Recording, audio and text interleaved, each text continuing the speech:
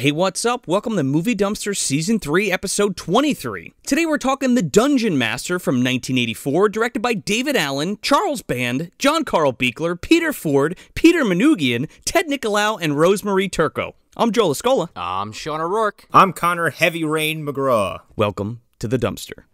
Now, here is how it will be. I, Mestema, have devised seven challenges.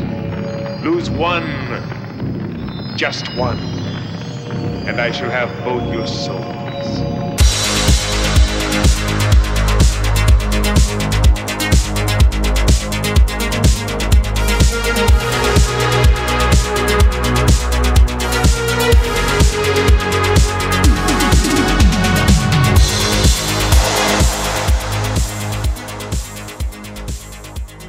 Come on, tell me those glasses are not the most Heavy Rain looking. I, I was, dude. I have never played Heavy Rain, but I have some thoughts about the glasses. We'll get to them. Yeah, we, we sure will. I just wanted to say, uh, Joe, that was a mouthful, and you said that flawlessly. Oh, thank you. that was a single fucking take. It was. He's not lying. Not that you would ever know. yeah, no, what you hear is the take.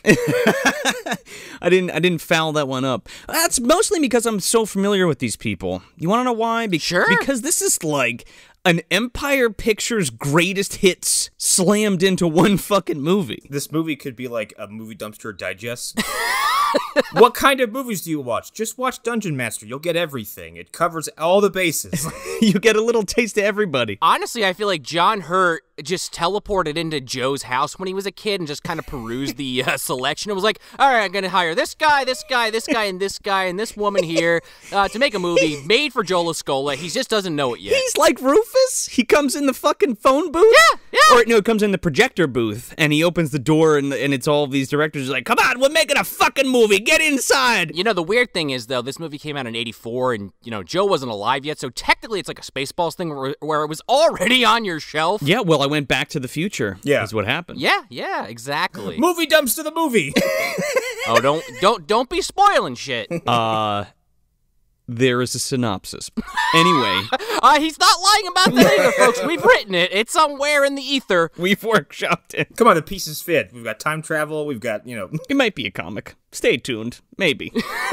One day. Wink? Question mark. Uh, but the Dungeon Master, of course, in the year 2020, how could we avoid doing a movie that is, I was gonna say based on Dungeons and Dragons, but I'm gonna say just very loosely taking ideas from Dungeons and Dragons. Uh, you know, it's it's a double crit, guys. Two twenties. Do you want to know the backstory on that? I would love to hear it. It's very brief. I can tell you my guess. What's your guess? My guess is that someone was like, how do I make a movie that will frighten every parent in 1984? oh no, that that was Monsters and Mazes with Tom Hanks. Yes. That was based on some fucking book by some cop that thought Dungeons and Dragons was driving people insane. Yeah, let's. All right, here's what you do: you put in heavy metal, Dungeons and Dragons. All right, uh, uh, the devil and uh, some skeletons, and you'll frighten everybody. Okay. If you play the movie backwards, Satan appears at your doorstep. Except he's named Esteban. Can you believe it? Don't turn your computer on. Esteban's coming. Yeah. Computers are the devil. So are, so are a tabletop RPGs. Uh, it's very brief. It's just this ti this movie was originally titled Rage War in Europe. And when it was released in the US, they changed it to The Dungeon Master to capitalize on Dungeons and Dragons. But I'm not really sure why. Uh, me either. Neither title is particularly good. No. I feel like Dungeon the Dungeon Master, while not, you know, I'm going to get into it in a few minutes of my, where my brain goes with all this. It's not entirely wrong with the context of this film, the way it plays out. Like I can kind of see it, but Rage War, I don't, I don't even get that one at all. yeah, that one's incredibly bizarre. Richard Moll is very mad in this movie. he he also could be a dungeon master if he was not also Satan. He's also sexually frustrated too. You think that's the problem? I guess it depends on what kind, how your game goes. I mean, I've heard some stories. There's some piece of shit DMs out there, so maybe. it zooms out and it's just some fucking like nerd sitting behind a fucking uh, uh, uh the the RPG, and he's like, "All right, this is what happens next to Paul." Wow, man, you just shattered my reality. this is what Joe thinks of me. Wow, goddamn. The guy playing with Paul was like really good at the game and just like no sweat solved these fucking scenarios. Oh, sure, well, yeah. right. I mean, honestly, like I feel like that is what the D and D movie should be: is a bunch of people at the fucking table, and then you get sucked in. But uh, they, I don't think that's yet to be made. Critical Role's maybe the closest thing to it. Yeah, I mean, even at the end of Dungeons and Dragons, you get a little bit of that, but it's like backwards. I would say the closest you get to it now is Jumanji. yeah, there you go. I mean, as bad as Dungeons and Dragons is, it was at least like. It, it took from the source material in ways that I, I could be like, okay, I see what you were trying to do. You just uh, put it through like a shredder and took a shit on it before you actually released it. E- yes. and then you buried snails under some rocks and he was brought back to life or something. I, I don't know. Go listen to the episode. I'm not rewatching that movie. I think they were just like, oh, yeah, well, that's stupid. Let's make this instead. Yeah, and then to bless the film they were done, they had Jeremy Irons scream at it for five minutes. Oh my god. Um, also, I wasn't making fun of you, by the way. I know. I'm playing it up, Joe. I was doing the Men in Black thing, you know, when it zooms out and it's the, you know. Okay, yeah, yeah, yeah, yeah, yeah. But like to your point about uh, someone zooming out and it's a DM, I, I could see Richard Moll in this outfit he has, uh, minus the makeup, uh, DMing. Uh, It's Shane Van Dyke. That's who it is. yeah. Oh, oh, God, help me. He would be one of the PCs. He'd be the guy who'd play like the rogue and would constantly keep robbing all the other players, and then everyone would just be pissed at him the entire game. Holy shit. Back to my original point of we had to do a D&D movie in 2020. Yeah. Uh, if you don't know what a double crit is, it's two, you know, you have the 20 sided die, you roll it, you get two 20s. It's, you're fucking somebody up with that roll. I, I originally suggested the second Dungeons and Dragons movie, and Joe and Connor were like, they basically pulled their knives out and, and held them to my throat and said, we're not doing that shit. At least not this year. Just I just casually just like popped a clip into my pistol and just You know, I'm going to bring it up when we get to the fifth season. I feel like season five, our fifth anniversary, is going to be a lot of uh, returns to greatness. Oh. if you want to look at it that way. Movie Dumpster The Revenge. I like that. Yeah, yeah, you gotta wait a year and change to get it. We'll probably totally disregard what I just said by then, but it's maybe. We'll bring it up at the end of the year. So is so movie dumpster revenge will be about all the movies offspring Oh, I like that. that we've murdered or coming to track us in the uh, on the, in the Caribbean to kill us. You know what it would really be? It would be the end of. You remember the end of Seinfeld when they go, they get arrested, and like every character from Seinfeld comes in and talks about how they're horrible people. That will be us, but it'll be all these characters coming in to disparage us. The MDU characters? Yeah. Oh my god. This sounds like some Doctor Who bullshit when he gets locked in the Pandorica. I could just see us all like sitting in like separate interrogation like rooms. And you know who's our? You know who our lawyer is, right? Lewis Tully? Of course. Who else? I got my degree at night school. Thanks, Lewis. And then, you know, we have the fourth person. I don't know if it's Matt Curione or Rudy or, or CB Smith or Jenna. I don't know. Take the pick, Dave. uh, you know, I got to get my own lawyer. Yeah. Oh yeah. That was short but pointless. yeah. You know, to- you know, Tony's not even fucking with He doesn't even show up to the court here. He doesn't even bother. He's like not wasting his damn time. I don't know those guys. Yeah, yeah. Tony's Venkman. He's like, he's like, I have no idea who these people are. They're all crazy. and of course, your fiance is the other lawyer that uh, Lewis Tully got the paper from. oh yeah, the blue thing. The blue thing he got from her. Yeah. The blue thing I got from Julie. Speaking of Ghostbusters, don't we have Patreon questions? oh, you just stole the words out of my mouth. We do have a question from Dustin Elkins. Good old Dusty. But uh, Dustin asks if each of you were to recast the Ghostbusters, who would you cast? um, I sent this question to the guys yesterday. We all talked about it. Said, "Hey, I got to really think about this," and I didn't think about it at all. so if you guys got answers while I ponder, No, me neither. Yeah, the same thing happened. I was like, holy shit, that's a loaded question. Like, that requires thought. And then I completely forgot about it. well, I mean, my, my initial reaction, of course, is John Belushi, Eddie Murphy. You know, the original script Dan Aykroyd had. That's not fair. That's the that's the originals. Um, I don't know, Joe. Did you think about this all? You got any ideas? it depends when it takes place. Like, is this Sure. being released in the summer of 1984? I think I okay. Well, it sure is fucking 2016. Put it that way. Okay. Um. That's an interesting scenario if you're going to just basically swap that movie out with, you know, whatever idea this is. I'm gonna assume Dustin's talking about the original, not the remake. I mean, he could. Sure. I mean, let, let's shoehorn those characters, Melissa McCarthy and Leslie Jones and all them, into the original movie. I actually wouldn't hate that, to be quite honest. It wouldn't be the same at all. Because it had a script, right? Sh- well, And there was a story. right. I'm just saying, I feel like they are totally capable of delivering most of those lines. Sure. Very different movie. I'm not trying to say it would be the same. No. I, I, it probably would have been good. No, sure. Um, I think it, it would definitely. Just, just, imagine, just imagine Melissa McCarthy just turn into fucking Zuul and just.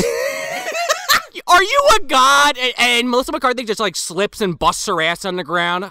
You know, because that's her thing. She just falls over like Jimmy Fallon. Stop it. No. She's talking about wontons or something. If Leslie Jones was Gozer, I just want to see Leslie Jones as uh as, as Ernie Hudson. if somebody tells you you're god, you say yes. motherfucker. She's funny. I mean, look, Yeah, no, they're all funny. I- they're all funny. That movie took a shit for completely different reasons. But anyway, yeah. Yeah, it's not the fault of anybody in that movie at all. no, no, it's not. You don't make a fucking movie that's all ad libbed. Anyway, I blame Paul Feig. uh, who would be my picks? Let's just say I'm, I'm gonna go with just like dream. There's only one Ghostbusters movie ever made. Yes, not even two. Not even two, not even the remake, just one Ghostbusters made. I got the got the got. Bobby Brown is one of the ghosts. he could be. His kid brother. He wants a proton pack, man. You know, I love that album. The uh, soundtrack to Ghostbusters 2 is incredible. If you haven't heard it, you're fucking missing out, by the way. How many times have we listened to that at, at work when we worked together? Yeah, a lot. We would just fucking crank that shit, doing fucking like doing screen printing. Um, uh, just just to put a pin on that, I think that would be a pretty interesting casting, but also like fuck Bobby Brown. Oh, you know, fuck Bobby Brown, dude. Uh, la, la, la, la, la, la. If I had to, my so my so my dream cast, or not even dream cast, like just like who who I think might be good. I kind of like the idea of somebody like Vince Vaughn being in there. Okay, Maybe like the Dan Aykroyd character. I could see that. I could even see him being Venkman because Venkman's very detached and doesn't really give a shit about most of what's happening. I want to say he was actually rumored to be in the remake that was like in development hell for years. Yeah. Yeah, and like Vince Vaughn has that very dry, like matter of fact, like this is stupid and it's, I'm above it kind of personality to him that he can pull off. I think he could pull off Venkman or Stantz. Yeah. personally. I, I th- he's my Stantz. Um, I would pick RDJ for my for my Venkman. God, me too. I did the same thing. That's a good answer. I mean, he like. could you imagine him in that whole like apartment scene with with Sigourney Weaver? They hate this. You know what I mean? No kiss. Like I would love it. Yes, this man does have no dick. Oh my god! Look at all the junk food. Um, I'm literally visualizing this, by the way. And then I guess I, I, you know what? I would totally keep Ernie Hudson. I don't want to replace him at all. sure, he he is underrated in that film. I think Ernie Hudson's underrated in general, to, to be perfectly honest. Great actor. I would just put Idris Elba in there because I love that man and I would watch him do anything. Oh, man. actually, um, I don't know if he's got the comedic timing of Ernie Hudson, but I c- I'm into it. I think he's a little too handsome, if that makes sense. He's a little too handsome and he's a little too swat. He's a too debonair, right? I think that makes it funnier because he's like, the, like you're looking at that cast and you're like, Jesus Christ, Idris Elba, you're such a fucking god man. Like, I guess you could put him in as Venkman too.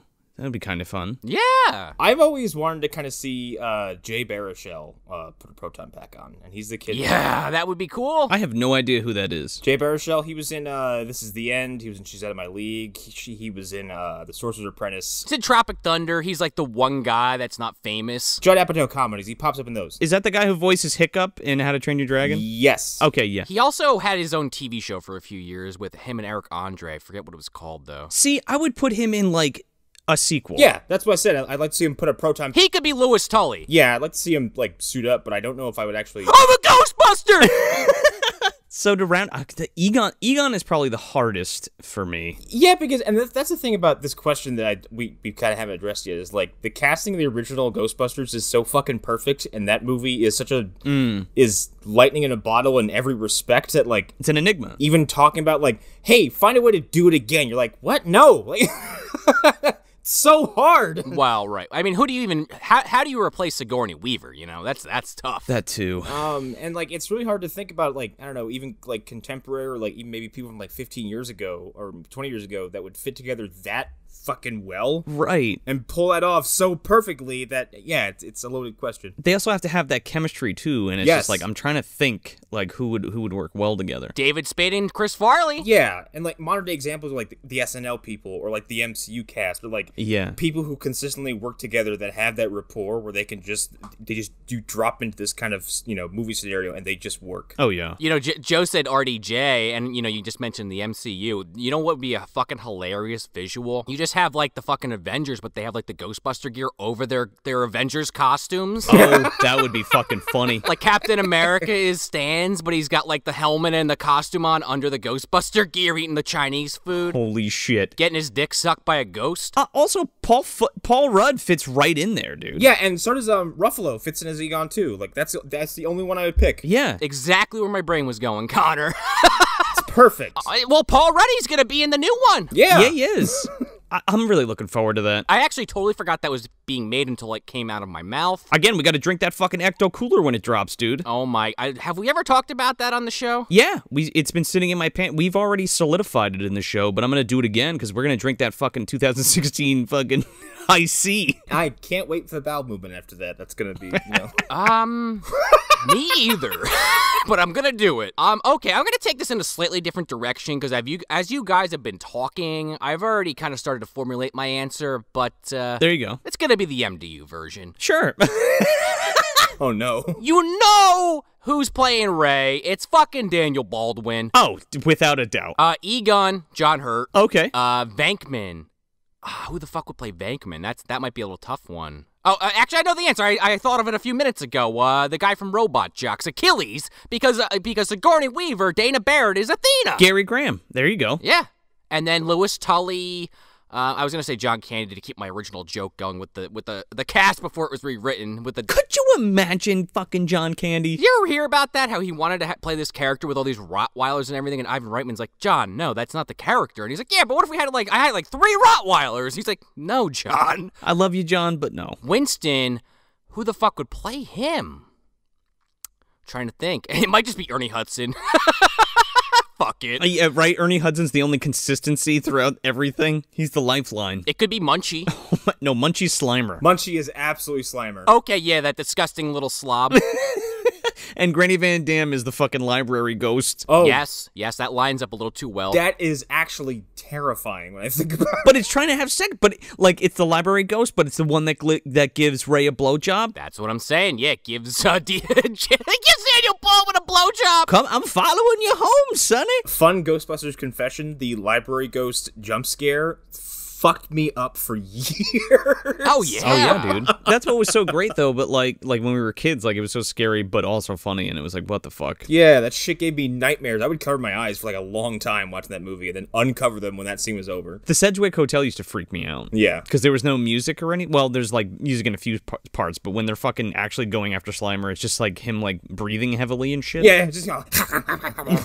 Well, actually, you did get John Belushi. He was Slimer. There you go. Well, right, technically. Yeah. Lewis Tully, Clint Howard, come on. Oh my God. Yes. okay, Hooper act the dog. Could you imagine Clint Howard being Lewis Tully? Can I supplement this with a potential Ghostbusters 2 MDU casting? Uh, Janosz would be Alexander. Oh, yeah, exactly. Well, I was gonna say Zuul, but that works too. Yeah, Janosz would be Alexander from Robot Jox. Why am I drippings with goo? Venkman, I have already killed you. I was gonna say Gozer because that's a visual, but I like Janosz. That's a good one. And of course, Sig Valtson would be Vigo. a Vigo in this case. Yeah. Or or it could just be Vigo. He was in the 13th Warrior. Just keep him in there. It's like visually the same fucking thing. it's the same guy. Might as well be. I think we joked about that on the 13th Warrior. We kept calling him Sig Valtson and Vigo. He's still voiced by Max von Sydow. Yeah, well, right. Well, yeah, obviously. Yeah, and and the guy from 13th Warrior voices uh, Ulfric in Skyrim. Yes. oh man, yeah, that's right. You said that on that episode. That's funny. I, I like Connor's answer of Jay Baruchel as Lewis Tully, especially with that second uh, movie part. But fucking imagine Clint Howard get the proton pack on. How funny that would be. Oh my god. I need that now. Dude. I mean, it, you're not beating Rick Moranis, but it's a great visual. But I want his hair from uh, the end of Evilspeak, like when he comes out, like of the fucking fire station. Yes. Okay, side note here. His hair, we didn't do the movie yet, and I haven't watched it yet, but our next film, The Wraith, he has an amazing fucking haircut that would be uh, perfect for this. What if he was Spangler with the hair at the end? Well, that's that's kind of what I was gonna say initially, but John Hurt just slides right in there, perfect. Um, somebody needs to deep fake uh Clint Howard onto Lewis Tully shooting the fucking slime. Somebody. all, all over the the uh, the the the museum, Somebody. the art What museum. do you mean someone needs to? Someone probably. Somebody! I'll say it a fourth time. Somebody, us, we need to do that. I right, you're right. I do. Okay, all right. well, yeah, I guess that's what I should have said. if that already hasn't been done. I who else is coming up with this shit, Connor? Clint Howard as Lewis Tully. I I don't know. There are people in their house who are like, man, what would uh what would The Rock look like as Kabal from Mortal Kombat 11? Oh, what would what would it be like if Munchie was in a Nightmare on Elm Street? God, that is it's, still. I was not ready for the when he pops out from behind the fucking the the the furnace there. It's your brainchild. I just brought it to life.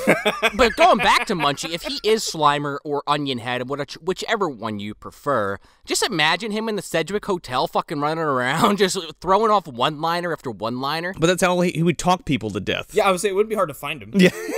you can't shut the fuck up. Find the source of the annoying thing. You don't even need a PKE meter. Uh, you know, he'd be he'd be going around the chandelier on a pizza. Oh my god. That's right. I, we honestly, Dustin, with with this uh, question, I could probably just keep coming up with answers Yeah. for like another hour. But I kind of want to get into the episode. We might we might revisit this topic uh, unless you guys have other characters you want to, you know, MDU wise. um What are the terror dogs in this universe? Are they different? Are they just the terror dogs? no, I see I like the Terror Dogs. They're fine. I feel like I, but maybe No, no, the the, the terror the terror dogs are just the cop from Ghostbusters who says there's a bear, there's a problem, but they run on all fours. it's just two of those guys with their with his head. yeah, they just Uh, excuse me. It was not a cop that said that. It was the guy who opened the door to the hotel to the apartment building. Yes, it was the fucking door hop. it's that guy, but they just run on all fours. But speaking of which, they should both be uh, a Fenrir beast um, with cop hats on. With cop hats. Yes, that would be amazing. the terror, the terror terroriers, the terror, the terror wolves. One one's Fenrir and the other one's the monster in the closet. Yeah, oh, there you go. Wait, monster in the closet is the fucking ghost that pushes a, that pushes itself through that fucking archway in the second movie, the orange one. Maybe? Who is the Stay Puft Marshmallow Man in the MDU? That's also Daniel Baldwin. Yeah, The mech? The one that I was talking about, a Robot Jox? That's what starts walking down the street? it could be. They, they look around, where's Stantz? And he's in a fucking mech? Well, okay, wait a second. Who is Stantz? I mean, I said Baldwin, but I guess he could just be Stay Puffed. I guess that kind of makes more sense. No, no, no. I'm saying whoever's playing that has to think of the character. so you have to like get into the head of that character. I I mean, with that said, Baldwin's always thinking about himself, so that kind of lines up. Oh god, how funny would it be if, if we could fit Alec Baldwin into the role of Stantz and like someone's like, think of a destroyer and he thinks of his fucking brother? Like It's Alec?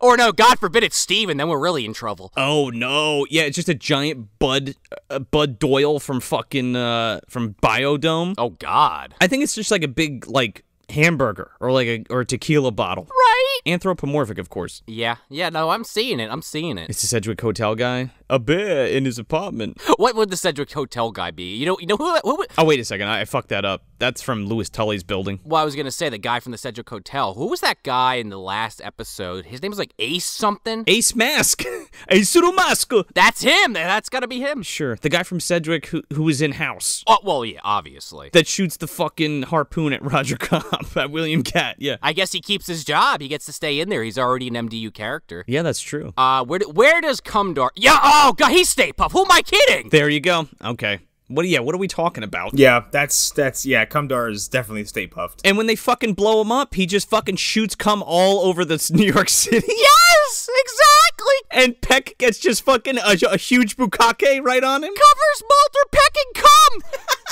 That fucking writes itself. Like they shoot him, he explodes in a bunch of white goo that lands on everybody. You we could probably edit that ourselves. Is William Atherton still? Does he still have to pay with the cum on him, or does, or does he get recast too? No, just bring William Atherton back and cover him in cum. Oh my god. and it's just like, ah, what? He's just walking down the street. He's not even like political or anything anymore. He's not working for the mayor's office. He's just minding his own fucking business. He's like, ah, not again. Yeah, he's not even actually like. Yeah, exactly. I love that. I don't even work for the EPA anymore. What the fuck? You turn him off, and we're gonna turn him off for you. Here's some cum. Oh man. Okay. Again, we could keep talking about this because every answer is hilarious. Hilarious. Literally for a whole episode.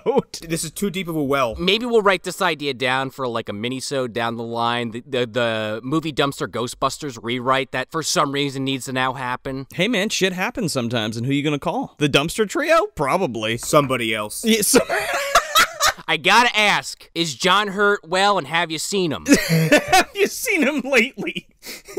Well, when I was when I was a lad, John Hurt used to spin yarns about a fucking movie dumpster universe, about a fucking car that flies through time and shit. About a spectral giant shark that that came out of the water and ate people. They used to rocket past his castle. yup. I like that we have. Uh, I like that we're we're now into like doomsday clock territory of turning John Hurt into Doctor Manhattan. Like this is how. Well, and you know the funniest part to me, I, I literally already have a damn sore throat. and We didn't even talk about the fucking movie really yet. I know. We literally were just joking in the beginning of this episode about the fucking movie dumpster movie, and we just basically did that with Ghostbusters. Pretty much. That's part of it, right? it's gotta be right, of course, obviously. yeah, spoil, spoil, we're a bunch of hacks. We just copy from some of their great work and we just slap our own names onto it. Yeah, fuck them. MDU. We hope that uh, answered your question, Dustin. Question mark. if it didn't, I don't know what else you really wanted us to say. Um, we do have one email from uh Angie.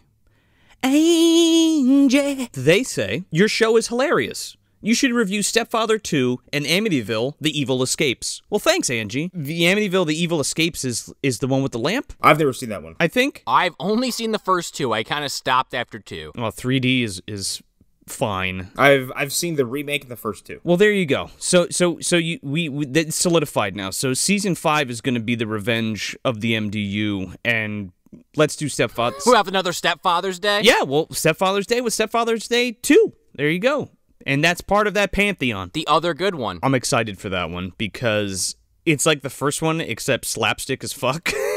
and it totally works. Um, like I was saying on that episode, it's just it's just a different kind of movie than the first film, you know. Sure. Also, it's like going from Winter Soldier to Civil War. Like the thing just develops. Well, yeah, that too. Spider Man is in it, ironically. I don't know. yeah, Spider Man is in Stepfather too. Everybody. He's like, hey, hey, what are you doing? That's a hell of an arm you got there. Hi, hi, everybody. You know it's his new Uncle Ben. That's a new Uncle Ben. well, it's Terry O'Quinn. It's Jerry. It's Jonathan Brandis. Hi, Peter. I brought you a new Uncle Ben. Oh my god. He sees the red book. He's like, oh no. Crookshank fucking ducks out the back. Oh no! I forgot about that. I've done it again. See you later. Gage, my friend. Honestly, it's kind of hilarious just that that somehow works out perfectly that Terry O'Quinn is there with the Winter Step Soldier project. You know, I'm sure Steve told him all about it. Oh, I'm sure. Yeah. But yes, thank you, Angie, for writing in, and uh, thank you, Dustin, for writing in. We appreciate it. So, on to the movie at hand. So, yeah, so we're talking about the Dungeon Master. So, yeah, we got seven directors for this film. Yeah. And they're all of the Empire Pictures Full Moon camp. Particularly, we've ca- we've talked about a few of these guys already. And guys, we've talked about a few of these people already. Uh, David Allen, of course, is the stop motion uh, extraordinaire. Uh, we got Charles Band, obviously, the producer, uh, the the mastermind behind uh, Empire Pictures and Lightning Video and Wizard Video and and uh, Full Moon and all of that. Uh, then we have John Carl Buechler, another special effects maestro, uh, who's who's done so much great work over the years. Huge inspiration for me as a kid. Uh, Peter Ford, who has only directed this little segment in this film and literally nothing else. Peter Manoogian is doing a segment in this as well, and um, he's coming back to, back to the show because we he's the director of Demonic Toys. Yes. Oh shit. Yeah, and Eliminators and The Seed People and a couple other Full Moon and Empire Pictures uh, films. Uh, we got Ted Nicolau in here too, the fucking man behind Subspecies and and Terror Vision and Dra- uh, Dragon World. Yes. Terror Vision might, uh, you know, keep that in the back of your mind, guys. Maybe for next year, maybe. Fuck yeah! Oh, dude, I'm I'm 100 percent in on that. Also, there's there, we're gonna get into a little bit of Terror Vision later. It's all for you, Serge. And then we have uh, Rosemary Turco, who uh, directs one of the segments in this film. Uh, we got music by Richard Band, and he's bringing the goods. I mean, this is Richard Band like in his prime, and it's fucking great. Um, he's also joined by Shirley Walker on the film score. And again, like I said, special effects by uh, John Carl Buechler and David Allen in this film. So they're doing, and and John Buechler's shop is doing all of the uh, practical effects, while David Allen is doing stop motion and other visual effects. And there's just one quick aside. So a sequel was shot for this, in 88 and it was never released. Now, Shot? it was shot and edited and it was never released. What the fuck? The only thing I can think of is that after Robot Jox was completed and released, that was right when Empire Pictures went under. So I guess it took the Dungeon Master 2 with it. Uh, that sucks. I wonder what that was. I know, I mean, I, I don't think that's really an excuse for it. What was the year on that? Do you know? Dungeon Master 2 was shot in 88. It was supposed to be released in 88 and it was shot and edited, but it wasn't finished. So, like, I would assume, like, special effects, visual effects, all that kind of shit. Score. Wow, that could have been interesting because I could imagine that was probably more based on D and D at that point, right? I- you would think. I mean, I don't know. It, there's no really, there's not really any details on it that I could find personally. Attempting to finish that at any point in the last 15 years would probably be difficult. Well, I also thought about it too because they tried to get one of David Allen's films finished, and that's like it, it- the the Primordials or the Primevals, excuse me. Um, and they had a Kickstarter for it and everything because David Allen had passed away, and they had this unfinished film. Now, I could do a whole episode on unfinished Empire Pictures slash Full Moon uh, flicks, but that in particular was one that had a Kickstarter for it, and I'm not sure if it met its goal or not. But I was I was uh, I was a supporter of it, so I don't know if it came out or not. I don't, I don't think it met its goal, but uh, I guess what I'm saying is that that should be something that maybe Charlie should like look into. Like, if you gotta fucking finish it, like I'm sure there's people that want to lend their time to the film or somebody who would support it to get it released, right? Yeah, you would think. I mean, just out of morbid curiosity, but maybe the money's not there, or they don't think it's worth it. Maybe. I guess. Maybe it sucks. maybe it's maybe it sucks even for Charles Band, and that's saying something. I don't know, dude. Have you seen the fucking full moon in the past fucking 10, 15 years? We've talked about it. Are you saying it's Charles Band's uh, The Day the Clown Cried? like, Ugh, fucking Evil Bong 20. Ah, just take some footage from Evil Bong and just lay it over everything. fucking shoot me in the head, would you? The the heyday is is far is far over. On that note too, there's there's only a couple differences between so I mentioned that this was titled uh, Rage War in Europe. Um, there's only one big difference in between the US and and the uh, international cut, and that's like a whole dream sequence that's been excised from the uh, the home video release of this uh, in the US, and it's basically like a scene with Paul in bed with like wires hooked up to him, and he follows Gwen into like through a prison and um, they hit this crack in the wall and like walk through and then like these monsters come in and like knock him out and take gwen it really it has nothing to do with the fucking movie so that's why i was probably like they were probably like yeah take it out fuck this shit now it's Rage War. now it's now it's dungeon master With this edit, I dub the Rage War. I mean, we've talked about that on the show before, where like different versions of films bought by different companies will have like weird edits. Like the Willies is one that we really went into on that. yeah Weird edits and different titles. yeah but I, I feel like this has kept in the same uh ownership so that that's a little strange you know what i mean willie's bounced all over the place Yeah, yeah, that's true. You know what's funny about the the movies with different names is that uh, to this day I keep calling uh, like I'm probably gonna get it wrong now. Uh, what Death Walks at Night, He Walks at Night. I keep saying different titles of that movie every time it comes up. wait the night andy came home? Yes. yeah death dream? That like I everyone's like yeah what was it? I'm like yeah it's the night Andy came home or he walked or death walked or whatever. I it, because we rammed off what I have like four different titles? The night the original title is the night walk. Yeah. And then there's uh the night andy came home death dream and then um Nothing matters, obviously. and that and nothing matters yeah Loomis is in the bushes. Something about some six bullet casings. We're not really sure. check out that movie dumpster youtube and instagram Yeah, if you haven't seen the Nothing Matters video and you listen to the show, you are sorely missing out. Props to Joe on that one. It's fucking hilarious. thank you So I will be the first to admit that I am not the expert on the old D and D stuff, but I, I, I know a little bit. My, my buddy uh, Chris Cruz, who I've brought up every once in a while on the show, who I play D and D with, he he's got this shit memorized. Sometimes he just starts rattling this stuff off, and I'm like, huh, oh, oh yeah, yeah, yeah, AD and D, yeah, right, yeah, awesome. uh, are we gonna just play 5e, right? And then uh, that that's that. But uh, I specifically just want to talk about like what edition was out at the time because the history of D and D is kind of weird. Where when it first came out, like in the '70s, you know Gary Gygax's company TSR, you know they would just keep putting out different versions, but they never really upgraded or changed. I guess I, I'm not sure the right word is to a new edition. So he, here's like the breakdown of that for those interested. So you had in 1974 the original Dungeons and Dragons was released, and all that included was I the Meta Magic book, Monsters and Treasure, the Underworld and Wilderness Adventures, and uh, you know, pretty much you didn't have a whole lot to play with. They gave you like some basic rules. Um, I don't even think they had a 20 sided die at that point, or if they did, there were a few die that that today we use in playing Dungeons and Dragons that didn't exist yet. And you know, I'm sure if I'm wrong about any of this, let me know. Uh, I'd love to uh, be corrected on this, and I'm not. I'm I'm being totally honest here. If I'm wrong about this, I really would like to know. But in 1977, we got the Blue Book, basic D&D. You know, AD&D would be Advanced Dungeons and Dragons is the shorthand for that. In 1981, we got the Red Book, which included like some more stuff, or, or the Magenta Book, excuse me. The Red Book came in 83, and that's the one I think that this movie, had I not known that it was just renamed, would be cribbing on. That's the thing. Like, it was just to cash in on it. So I guess that red book was super big that year. Um, uh, yeah, as far as I know, again, I mean, I, right up front, I'm not the total expert on this, but my understanding is that's when it really started to pop off. Sure. Because you didn't even get second edition until 89. Yeah. And that's where they started introducing a lot more stuff. And then eventually, like in 97, you know, granted, that's 20 years into the company, they got bought out by Wizards of the Coast. Mm. But it was like, you know, again, there's people you know you can go online, you can buy all these books. My my buddy Chris has them all. They're they're awesome. Look, there there's uh, a few books you can buy that break all this shit down. But I'm not going to go any deeper than that because, again, if this movie was literally made because of Dungeons and Dragons, I, I think I'd get a little bit more nitty gritty.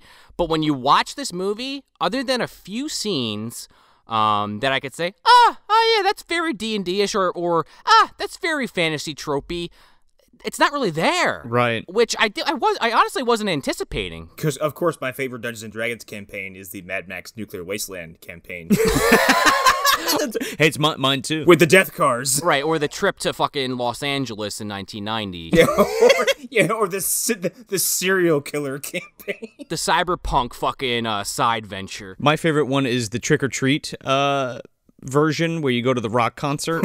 but it kind of it kind of lines up though, at least according to like something like uh, Stranger Things, where like Well- it, that takes place right in that pocket of like '84. Right, exactly. Obviously, Stranger Things, straight up, they're playing D and D. Yeah, like straight up. Uh, the original version, and this, it's kind of like, like to Joe's point earlier. Yeah, very clearly a cash in. Well, especially on the name for the marketing, you know what I mean? Sure. They fooled you. They fooled me, and the movie's been out for 26 years. Oh, excuse me, 36 years. What the? Uh, God, oh wow. Oh Jesus! What's even more misleading is the is the actual cover for the VHS. the cover for this movie is bonkers. The cover for this movie, the US Lightning Video release on VHS, has this giant picture of Blackie Blackie Lawless on it from from Wasp, the lead singer of Wasp. What? Yeah. I mean, he he is in it. Oh wait a minute! I, I saw. I must have seen the, the poster for like the the market release because like what I saw was like this purple and black like awesome fucking metal album cover looking shit. Yes, that's the one with like Richard Moll's face on it. Yes. Well, right. And I, I was talking to Arlen about this, Arlen Haro, uh, friend of the show. Yeah. He was like, "Ah, it looks like a Zardoz poster." Yes, it does.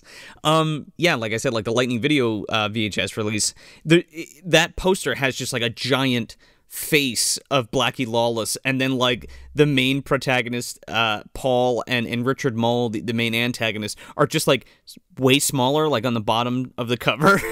How weird. it's so fucking weird. Wasp is in one scene that lasts for like maybe four minutes. We are gonna get to Wasp and their history with Empire Pictures when we get there. But by the way, that blew my fucking mind. I, I'm not trying to downplay that. Yeah. Good because I don't know anything about this band. So Oh yeah, they're just they're a metal band from the 80s. Yeah. But they they're featured prominently in Empire uh, stuff. So I, I guess that's all I really got to say about D and D at the moment. If if things come up as as we talk about them, I'll expand on that. But uh, Yeah, totally. I really was under the assumption that this movie had more to do with D and D going into it. Oh, for sure, because it, it yeah, it definitely brands itself that way. Connor, you want to fucking give uh, plot crunch? a very very bored Beelzebub decides he's gonna just like fuck with an extremely competent, athletic, smart, witty, handsome guy who's far superior to him in every way. Yeah. and he's like, "Hey, let's do some challenges." And this guy's like, "All right," and he beats his ass every time. yeah, Doesn't even sweat for most of it. Seemingly with a hand tied behind his back, right? Yeah, like it's just a s like that Satan himself is like, yeah, seven challenges, yeah, and Paul like like one he's like step over this line, and Paul's like done. He's like, damn you. I want to know if this was before or after he lost that violin or that that fiddle contest. You gotta ask Charlie Daniels on that one. you think that that demoralizes him? And he just hides out in this fucking dark space where he's like, find me an attractive Brad Pitt looking man, and I will challenge him to a battle of wits. Well, this is what fucking this is what Esteban did, man. He like this is like what he's doing while he waits for somebody to boot up the computer again. Yeah. He's like, I'm bored. I'm going to fucking bring mortals in that are worthy adversaries? Question mark. So I can fuck with them. Find me a Silicon Valley hunk with glasses he can talk to. Get me those Google Glass. By the way, uh, th- this what is this character? Mestema is this character's name? The devil in this movie. Mestema Esteban. I mean, He is like one of my new favorite characters in this entire show's history. Like he is, he amuses the fuck out of me. well, you know, Richard Moll, he's had a history in the MDU. He has many faces. he just abducts this guy and he's like, "I have your wife. Come finish these challenges, and I'll transport you to variously video gamey themes." I mean, honestly, talking about Dungeons and Dragons, I feel like Richard Moll has the fat has the mask of many faces. Like he just puts that thing on and just fucking transforms. oh yeah, for sure. I mean, but it's still very clearly Richard Moll. Uh, yeah, Yeah, Well, yeah, every time he thinks he's really like hiding his features, but he really just has a different costume on. Like in the monster, there's a monsters episode with him and Eddie Deezen. Um, Oh my god. Uh, of course, there is. the name is escaping me at the moment, but like it's this lawyer guy who like summons these demons to like give him money, and he summons Eddie Deezen, and then Eddie Deezen is summoned by Richard Moll, but Richard Moll and Eddie Deezen are in fucking demon makeup. I gotta look this up now. It's fucking great. Paul has John Hurt's technology. I'm just gonna say it first before you guys get a chance. I, I like how like this movie because here's the thing I was really confused because I went in this really blind so when you're like dungeon master I'm like okay this sounds like a Deathstalker kind of movie like one of those where it's like Sure. it's like a you know a shoestring budget sword and sando movie or something like that where it's like the wizard has the thing and we must blah blah right, right. Me too, Connor. and then like this opens up with this opens up with like Steve Jobs talking to his fucking computer and then he like puts on his jogging shorts and runs to work I'm like what movie is this You got to run, Connor. You got, you know, it's good for you. not knowing this would come up later in the, in the movie I didn't even put that together, but yeah. Yeah, yeah. I couldn't believe that. So this movie opens up at Cyrex. Whoa. Or, not Cyrex. Not don't confuse it with the Mortal Kombat character. They're competing uh, rival company Sector Yeah. Yeah, to get into the building, you have to enter a green net. Yeah. And down the down the street, David Gale's making Syngenor. Yeah, no, yeah. So like Connor said, uh, we're introduced to Jeffrey Byron, who plays Paul Bradford, and he works for the Cyrex company, and and and also like Connor said, he's yes, he's he's like this cutting edge technology guy. He's kind of like the Steve Jobs, like know it all dude, super um, into um, computers and and making AI and or uh, devices that help us. I mean, this man has Siri in this movie. He has Google Glass in this movie. Oh, he's got fucking Edith from Spider-Man: Far From Home. Okay. He has baby. What? Are you, Yeah. Am I the only one that's making these connections? you know he well he has a, he has our mainframe anyway. He's got that fucking power glove. Well, he, you, mm, you know, he took he took Professor Screw Eye the screw out of baby, and this is what he got. Cal He restored her. Cala, what is it? Uh, Excalibur. Excalibur, apparently. Excalibrate. he has these motherfucking, you know, Google Glass, whatever you want to call them, these glasses that are just like m- magic items, let me tell you. Oh, it's fucking glorious. So uh, he's talking to his boss, and his boss is like, "Hey, you work too much. Why, hey, I, I love what you're doing, but why don't you hit the fucking road?" And he's like, "Okay, see ya." And then we have this weird exchange outside where he like meets his coworker, and this guy's like, "I'm dead fucking tired. I'm, I'm going I'm going home. I'm sitting on my fuck. I sit on my ass. I watch television. You know." He goes, he does the Charnetsky fucking ritual, Leaves one chair and moves to another. and uh, Paul is like, "Well, I'm gonna go run a fucking mile in my in my little short shorts." Yeah. Yeah, and then the uh, the uh, the '80s synth score kicks on. Oh. Uh, and that's when I was like, no, amp up the '80s. I'm not feeling it enough yet. Come on, hit me with more. Like, Well, you know, he's got to sync his watch with, uh, I don't even know what, his fucking computer, I guess? Yeah, he's like he like sets it and he, he's like Excalibrate, uh, play Dungeon Master soundtrack. Right. Well, well, well, then we're just, like, ejected from this scene to, like, a jazzercising, uh, uh, routine of some kind? You can sign me up for all of these 80s workout scenes? Yeah. Okay. Straight up. Put my name on that list. I mean, I get it. I mean, that's what that's what was in at the time. We're introduced to Gwen here. Um, we don't get a name, but this is, you know, that's who she is. Right. though, It, it makes sense a few more minutes later, but at first I'm just like, "Wh- wh- what is happening? Why is this? Why are we being transported to a dance studio right now? It was an 80s movie, and then, like, when that happened, I'm like, oh, yeah, no, it's an 80s movie, so here we are. And I'm right at home. Yeah. No, I mean, I am. I'm, I'm not saying I'm not, but I was confused. I, I they're health nuts, which is weird. They like make that point to be like, yeah, they all they both work out and they're very smart and intelligent and uh, athletic. Hey, I told you to get some swordfish. You came home with a whole bag of groceries. They're both very successful. It's very strange. Dude, this guy has the technology in these glasses that Christopher Lloyd wanted in fucking Suburban Commando to get these lights changed. He's fucking Tony Stark, dude. Yes! He is, because he's running down the street. He doesn't stop at the stop sign. He looks up at the fucking light, you know, and he and he hits like a button on his glasses and the light change. How the fuck is this guy not causing accident after accident? He's running down the street and you just see all the cars collide into each other. yeah, and I make the Christopher Lloyd reference if if people at home have not seen Suburban Commando again. For the uninitiated, the Lost Movie Dumpster episode. Yes. There's this whole bit in that movie where Christopher Lloyd is constantly getting stuck at this one traffic light. And at the end of the movie, he gets like a ray gun from Hulk Hogan. I don't know why he's allowed to keep it. then he shoots the str- he shoots the light and he smiles and it and the movie ends freeze framed on that. He would have loved these glasses.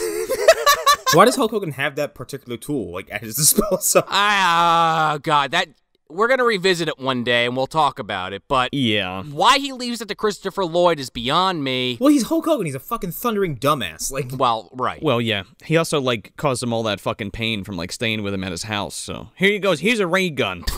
well, you're welcome. yeah, he was frozen that day. Yeah. this this is the episode of callbacks and uh and, and teases, I guess. Not that every episode isn't. Oh yeah. And also, this movie was like an hour and 50 minutes long, so. Sure. Yeah. That too. I'm sure the episode will be longer. oh, it's gonna be. So, uh, so yeah, he like he like runs up to this woman that's like selling flowers, and he's like, it's like doodle doo doo doo. I'm I got no money in my wallet. Oh, let me go to the ATM. Hang on a second, and he fucking presses his glasses. He like looks around and makes sure nobody's watching him, and like fucking presses his glasses, and it automatically tells the ATM to dispense twenty dollars from his account without having to touch the fucking thing. yeah. How much time are you saving, pal? I mean, I guess maybe he was afraid he was gonna get COVID. He didn't want to touch the keypad. Um, my thought is like, if these glasses fall into the wrong hands, we're gonna be doing it for some nefarious shit, dude. Well, like I said, if John Hurt did not create this technology, he's definitely gonna try to steal it. No, Steve Steve Jobs did. What if he already did, and that's how he developed his fucking super weapon? Oh Right, this is before uh, Frankenstein Unbound. This is before Frankenstein Unbound. no, it's after, but he went back in time to steal it from him, steal it from himself. Oh my god, he is so Professor Zoom at this point, it's not even funny. Like, he's just running all the time. He is, uh, you know, time is uh, but a window for John Hurt. it's only a matter of time before he uh, forms the uh, the Legion of Zoom. Oh my god. That's a real thing, by the way! I think he already has. Well, uh, you know, again, Comdar, Corpse Fucker, Baldwin, Michael Clarke Duncan. He's he's he's got some people. GVD. Oh yeah. So yeah, then we go to his apartment and like we're introduced to his com- his computer formally now.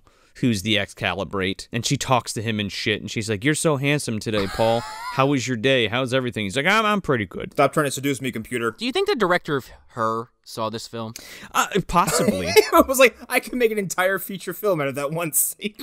Yeah, exactly. at that one moment. Make this computer sound like Scarlett Johansson. Okay, perfect. I mean, you'd get me that way. It like tells him some shit. It's like it's like uh, just by, by the way, Paul, uh, your your account is overdrawn. He's like, yeah, yeah, I know. I'll, I'll take care of it. Don't worry about it. I have these special glasses. I could have literally told it to take the money out of anybody's account, but I just overdrew myself. Exactly. And you're telling me this like super like rich like inventor guy doesn't have like a wad of hundreds in his fucking wallet? Give me a break. Well, okay. Gwen comes home with the groceries. Played by Leslie Wing, by the way. Right. She makes some kind of. She hates the computer because he's so obsessed with it. but she makes some kind of comment like, oh, yeah, I knew you went through all those experiments when you were younger so that you can be unified with the computer. And it's never touched on again. No. And I'm sitting there like, wait, wait, wait, go go back a second. What did you just say? Oh. Is this man a fucking super soldier? I don't know, but maybe that dream sequence makes sense now because he's like lying in this bed hooked up to all these like wires and shit. He got linked up, man. Maybe. Yeah, he he got fucking Jobe, like proto Jobe. He got something. Yeah. I, I I don't know. Maybe there was something more to that. Maybe that was where the rage war came in. Sure, yeah. He took those drugs. Yeah. This guy was Dr. Angelo's college buddy. Right. Yeah. Yeah, it was Dr. Angelo's buddy who he took the fucking rage drugs that made him like smart but also crazy. He was the one uh, experiment from Vimaville that actually was successful. they just can't find him. yeah. Open your mind, Paul. He's like, I, I got to take these tablets every day. I'll just melt. And Gwen's like, ah. oh Jesus. My dick will explode. I need to take this pill. It, there's like a whole back and forth with them here, and it's like, you know, she's she's like, oh, uh, you know, you you're really sweet. I bought you all this stuff for for your fridge because I knew you were out of shit. And he's like, he's like, oh my god, Gwen. He's like, let's get married. Let's do it. And she's like, oh, I I don't know. I mean, maybe. And he's like, the computer said it was really good for us to get married. She's like, a what? Yeah, the algorithm says it's fine. And she basically tells them like to go fuck off about the computer, and then we get like a scene later in the night where they're like sitting down having wine, and he like brings up the computer again. He's like, "No, wait, come on, Gwen, come over. Like, listen to this." Yeah. He's like, "Am I a great match for hardworking women that are beautiful and have a hard head?" And she's like, "Oh, that's kind of a fucked up thing to say." And the computer's like, "A hundred percent match." She's like, you know what? I'll be in the bedroom. That's the one place I'll know you'll have I'll have your full attention. So okay, so you're pissed at this guy, but you're still gonna fuck him? Until he fucking hooks up the, the, the fucking fleshlight to this thing. Uh, I like how he should have been like, like, oh yeah, well the computer thinks I'm handsome. It's like Chris Lilly in his vacuum. ugh. I mean, you know, with the fleshlight and the computer. I mean, how else do you think he builds up stamina? Holy shit. This is movie dumpster, guys. Let's lest we forget. I know. And like Paul is just like, yeah, and Cal helped me pick out this ring and and Cal said we should procreate and Cal said we should move in together. And she's like, "You know what? Fuck you." She's like, "I want to be a part of your life." And he's like, "You you you will be. I mean, you are." Yeah, this guy's a putz. And he's like, "Look, Cal told you already that we're perfect." Don't you believe the machine? Trust it. For being such a giant nerd, like he's about to prove himself to be like the most capable human being on Earth. yeah, yeah. I mean, not, you know, not that the two are exclusive to each other, but yeah. No. you're absolutely right. So, after a night of passionate lovemaking question mark. Question fucking mark. She wakes up and then it's Rumpelstiltskin. It's Richard Moll in the bed Yeah. next to him. Oh my god, that would have been a double take. Hi, Paul. His Google Glass freaks out and like f- like flares up with this fucking like green smoke. Oh, it's a green flame, man. That's a D&D reference. Is it really? well, if not, it's definitely a Penny Arcade reference for those that give a shit. Link them up together. This is the MDU here. Everything goes. That's where I'm going with it. So we're thrust into this dream sequence. Uh, he's like in the, in this weird costume, and he's like looking for Gwen, and she's like bathing in like this Waterfall, basically. yeah waterfall, and he's like banging on this stone, and he's like burning alive at the same time. Yeah. I guess he didn't take his pill, you know? Yeah, well, maybe that's it. He's fucking freaking out, right? Step one hallucination. First phase is hallucinogenic. His fucking face started melting.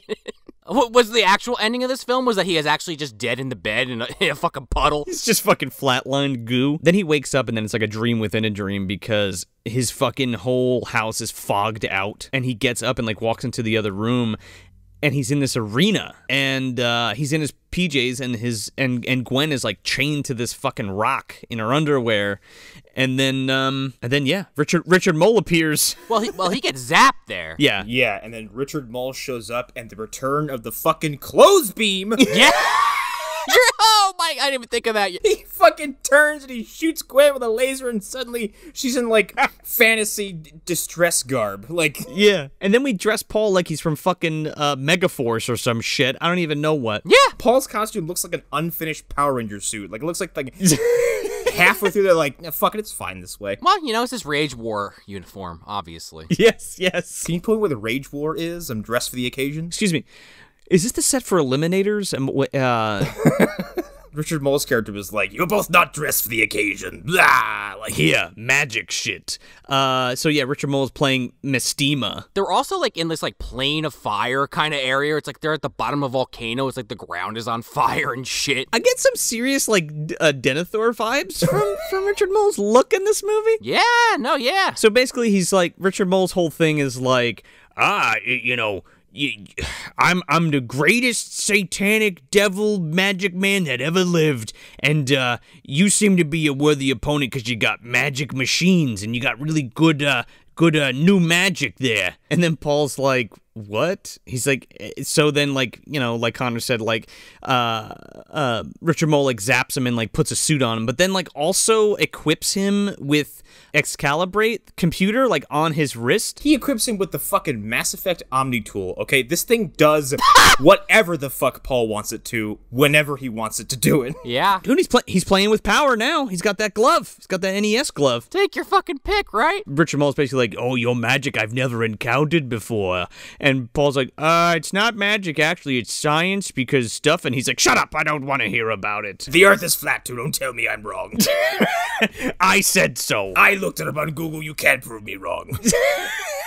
And Paul goes to like Cal, because, you know, it's all verbal. Yeah. He's like, oh, yeah, what does Mashtima mean? And she's like, uh, it just happens to mean Bazia Bazabblebub. And, and he's like, huh, okay, uh, So Satan. oh, the devil, huh? No big deal. uh, literally Satan, all right. Yeah, because uh, Richard Moll like comes down. He's like with his giant fucking Esteban sword, and he's like, "I with the powers of darkness, I knight you, Excalibrate." And he's like, "Uh, Excalibrate?" And he's like, "Yeah, that's that's your name now for the game that we're gonna play. All seven levels, like, you know, seven levels of hell. Get it? It's Dante's Inferno. It's also a video game. This will never happen in real life. You ever play Donkey Kong Country? You'll get there."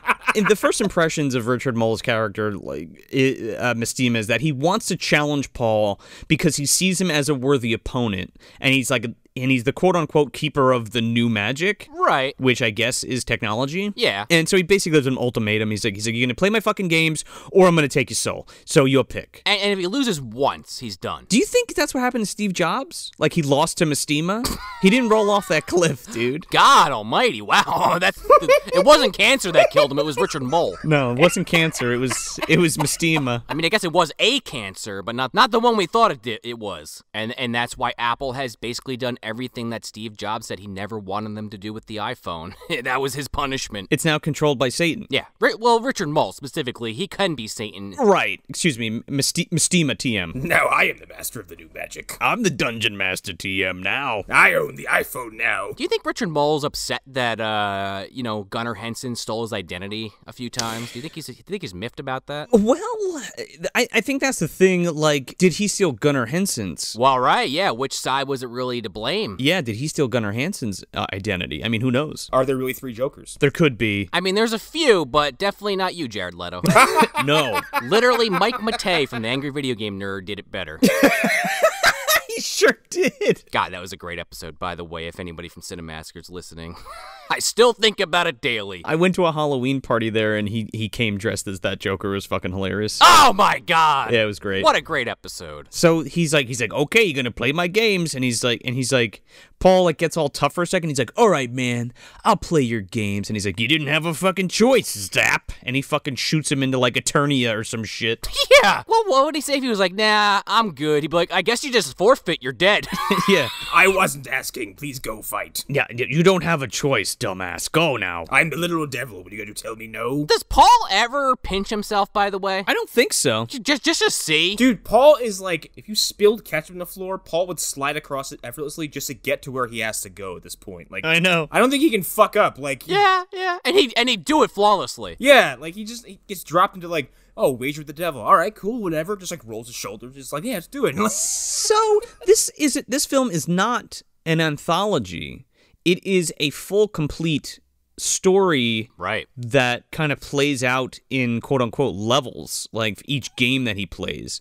But each level or segment, however you want to call it, whenever he gets zapped to a different place um, for the next game, is directed by a different person. So this first one, where where Paul gets zapped into, is uh, the first story, which is or the first level, whatever the fuck you want to call it, uh, is Stone Canyon Giant, directed by David Allen. yeah, and they're all they're all different genres too. Yeah. Like right away, you're like, this is weird sword and sandal fantasy uh, territory. This is Jason the Argonauts. This is you know Sinbad. This is whatever. Sure. This is definitely one of the ones where I was like, okay, yeah, I could see the D and D connection here. Uh, since you have literally uh, creatures that I I could see in a D and D campaign uh, throughout this segment. It's only really two though that kind of feel like that. The rest are completely different. yeah, yeah. So he gets dumped into this, uh, the first round, if you will. The first dungeon. Question mark? Yeah, sure. And he has his little computer on his wrist, and um, these two, he like gets knocked out or something like the first time that he gets there. Yeah. And he gets attacked by these brownies. One of them is Phil Fondacaro, by the way. Yes. Without a mustache, which is very jarring because I've ne- I don't think I've ever seen him without a mustache. yeah. He doesn't say anything either. No. I, I was just again didn't know the history of the film. I don't know if I'm gonna repeat that throughout the episode or if you just get you get it by now. I was like, oh yeah, halflings, obviously. well, sure, yeah. I mean, quarterlings, really. I mean, halflings are basically hobbits. They're pretty short. They can be short. They, I mean, they only go like three to four feet tall. Yeah, but these guys are like a couple feet tall. Sure, sure, sure. So yeah, they steal his little his little wrist gauntlet with uh, he they steal baby from him. He ends up like running around and like it's just like it's just like a romp with these two little these two little buggers and they, and they um he finally gets it back from them, but they lead him to this giant stone giant. I don't understand what their purpose in this scene was, other than to lead him to this. I, I guess I just said it. I kind of thought it was like an uh like an offer. Yeah, no, same. Yeah, I agree with that. I think he even boots up his computer at this point, and after the statue comes alive in glorious David Allen stop motion, as always. Oh my god, so good. Yeah, the, the computer's like, oh yeah, this is of Mayan question mark whatever uh uh build and What? they say it says some shit like like that. I missed that. yeah. I mean, I I, I believe you. That kind of lines up a little bit there. Sure, and so I think it- I think these these two little guys are like the the worshippers or the tribes people of this giant stone god, and they're like offering him up as a sacrifice. Which I feel like, I mean, I don't know how many people are doing giant stone walking constructs uh, in 2020, but that is some fantasy ass shit. That is, uh, Yeah. You know, I don't know if that, either of you guys have ever played the video game uh, Breath of Fire for the Super Nintendo, but there's straight up an entire level where you go inside a giant stone construct and you control it. Oh, that's awesome. Well, I yeah, I, That sounds awesome. I would say uh, Breath of the Wild. Each temple is like temple, quote unquote, is like that. Yeah. Just in the uh, the the new Dark Crystal series, uh, there was a uh, the Guardian. I think he's called. He was made out of all stones. It's really fucking cool. I mean, I, I like that trope. I mean, I'm not I'm not complaining at all. It's cool. no, sure. and it has uh, it has this crystal on the forehead that uh you know okay lasers are a big deal in this movie oh man, everybody's got lasers. even the statues He's trying to. He's trying. So so this thing's coming after him. It's like shooting its laser at him, breathing fire at him and shit. And he's like, oh my god, what do I do? All of a sudden, he gets the capability to shoot a fucking laser out of his computer. yeah This is the most impractical laser I've ever seen too, because he ain't, he doesn't shoot it like when you think someone has a, a gun on their wrist or hand, you think Mega Man. Point forward, shoot forward. No, he shoots it like fucking Ultraman, dude. He puts his fist up and, and it shoots like out like th- laterally. Yeah, it, it shoots out from his forearm, Yeah. and he's got fucking perfect aim almost all the time. Dude, he nails this thing right between right in the fucking crystal in his head and it just explodes. He Guyvers the fuck out of this thing. he sure does. oh yeah And that's it. That's level 1 down. yeah, and he just beats it. He's like, no fucking sweat, giant stone colossus. Who cares? yeah, bye. maybe esteban should not have given him this fucking computer wrist thing Yeah.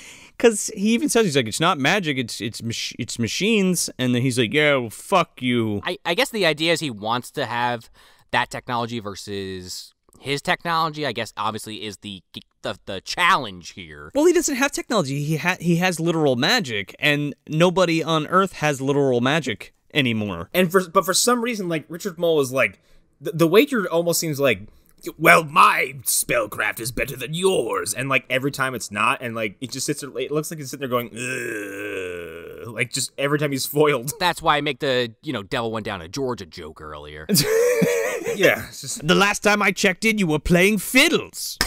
his ancestor Is Charlie Daniels? yeah Fire on the mountain, run boys run. That's what I said. Richard Moll has some amazing lines in this movie, and I think this is one of the first ones he drops that just killed me. And he's like looking over at Gwen, he's like, ah, isn't love grand? I'm like, Richard, you're having a fucking field day here, aren't you? my favorite scenes in this movie are all the exchanges they have in this weird limbo esque purgatory like hellscape. Yeah. Because like Paul wins a challenge, comes back.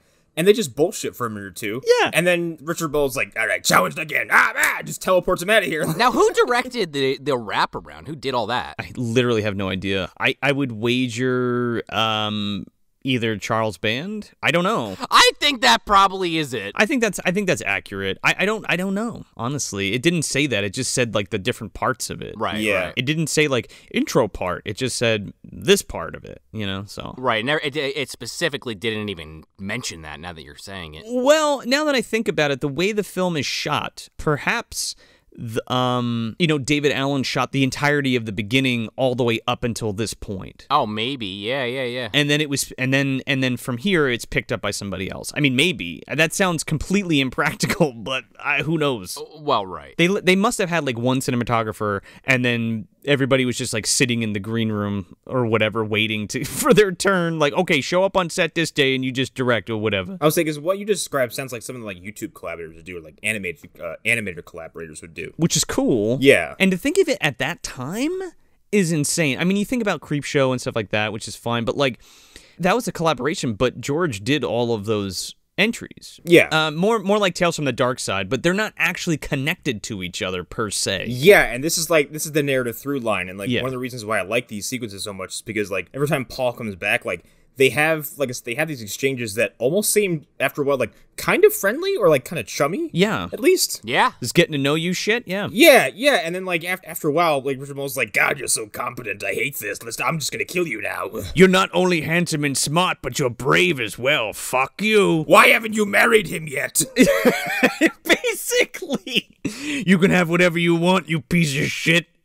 And I'm destined to stay here for the rest of my uh, my eternity. So yeah, he, he bops back to uh, Mestema's fucking arena. They have that exchange. They have a back and forth, and then boom, we're fucking sent back. We're sent into the second level and or segment uh, called the Demons of the Dead, and this one's directed by John Carl Buechler. you know, as soon as they pointed out that this was by Buechler, I fuck. I was like, of course it was. One hundred and ten percent. Oh, I knew the second that that little creature comes on screen, it's like, oh yeah, this is Buechler. Yeah, rat spit. It wasn't. It was the uh, the zombies for me because I was like, that looks like what I envision when he talks about wanting to put you know Tina's dad Friday Seven. Yes, Oh yes. yeah. yeah, I'm like, that's the kind of like gross, disgusting zombie thing I feel like he would come up with. Well, I think his team is doing all the effects for this anyway, but yes, it's very like he, he was very adamant about like yes, I'm going to have a little creature in my segment, you know what I mean? And I'm gonna voice it. He did. Buechler did the voice. John, he is credited on IMDb as voicing Rat Spit, this little fucking goblin creature. I didn't I didn't even catch that one. Nice one.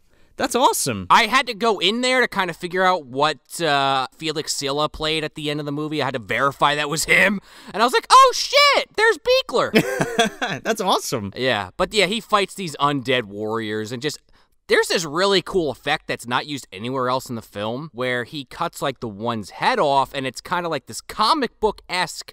Uh, I can't even know what to call other than an explosion where the head gets cut off. It's like a hit effect from like a fighting game or something. Like it's yeah, yeah, yeah. It is very much like when you hit someone like Tekken or fucking you know Street Fighter or something like that, where you get the little you know the impact, you know art, I guess you'd call it. But yeah, instead of like a shower of blood, like when he chops a limb off one of these guys, like you get some kind of varied not particle effect, but like I said, yeah, like a hit effect. Yeah. And this all takes place in this amazing like cave with all these stalagmites and stalactites hanging down. It's also like one of the shortest pieces of it too. Yeah. Yeah, I love how uh again like this is where I was like, oh, our hero. There's no suspense here. Our hero is just good at everything because like Yeah. fight my zombies, and then Paul's like, "K," and then just like kicks their asses, and he's like, "Done." And he's like, "Wait a second. Uh, so Rat Spit is like the caretaker of the dead, and he's like, and he's like, but you haven't fought, fought your greatest challenge.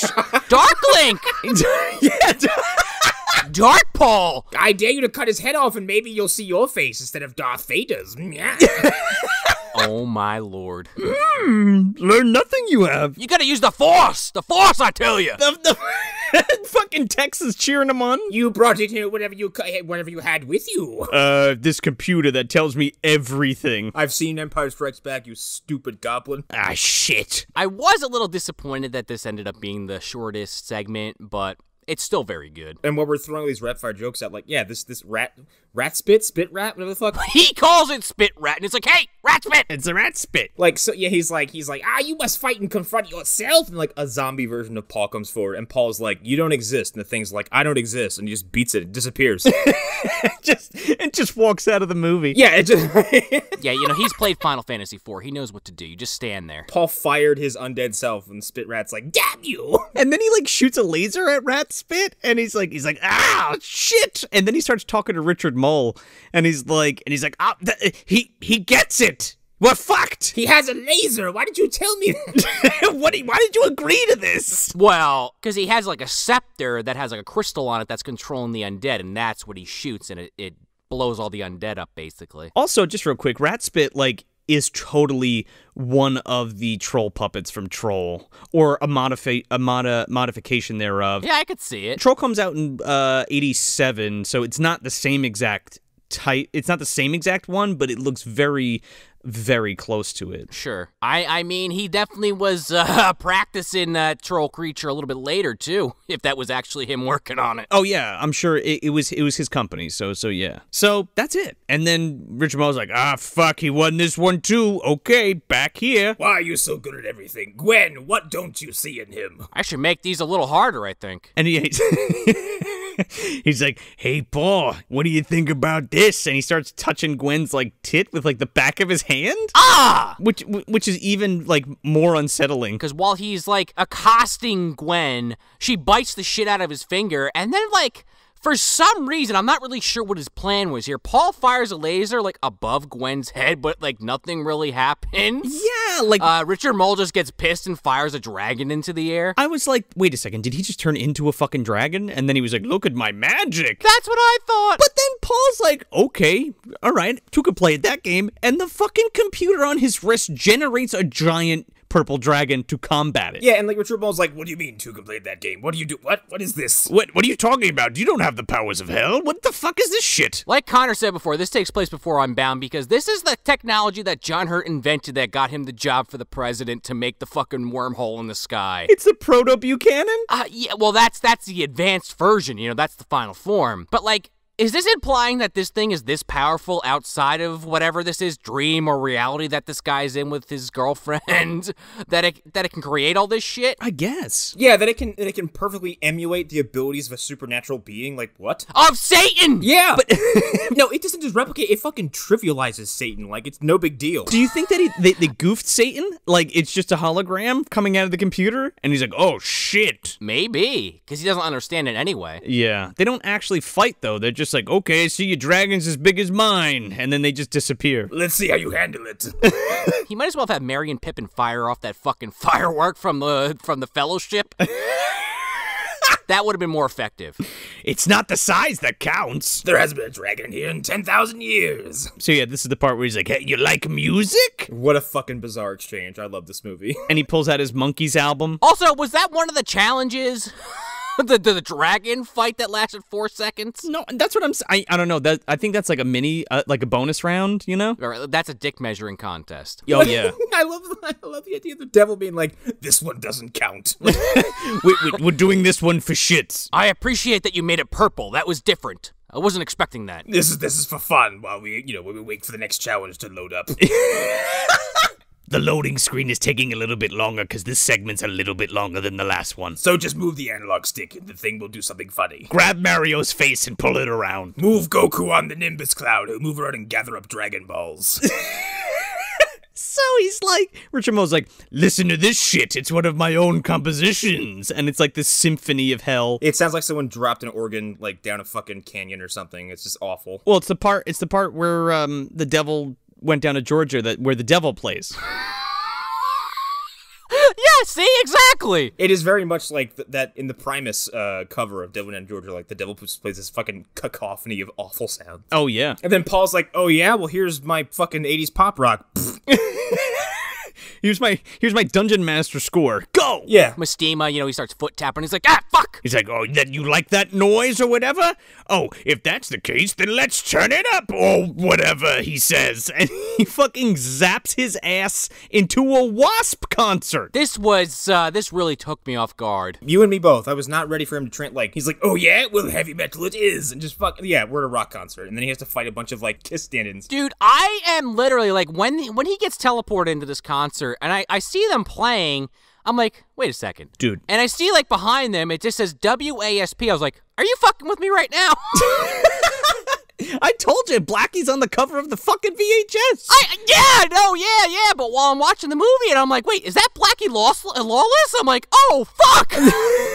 I here's the thing. I couldn't pick these guys out of a fucking crowd. I, I had no idea who the fuck this, these people were. So this is the third level, aka third segment, called Heavy Metal, directed by Charles Band, and we're kicking up that fucking Tormentor, dude, because that, that it, this is basically just a fucking music video for Tormentor. yeah. There's so many close-ups of the lead singer just just singing, like devoid of narrative context. I'm like, okay, Remember when I, when I was like, oh well, we'll talk about Terrorvision a little bit later. Yeah. This is the clips that are played in Terrorvision when Gerrit Graham's daughter, uh, the chick, ah, fuck, I can't believe I'm forgetting her name from Bill and Ted. Anyway, she's like, MT, what about MTV, Dad? And he's like, MTV, no problem. And he like switches the channel, and it's the clips from this film of Blackie Lawless doing Tormentor. I guess that kind of makes sense with the director of Terrorvision being involved with this film. So I also mentioned that we were going to talk a little bit about W.A.S.P.'s involvement with Empire Pictures. So they're straight up in this movie. They have an entire segment. Blackie Lawless is essentially the bad guy in this in this uh, segment. Yeah.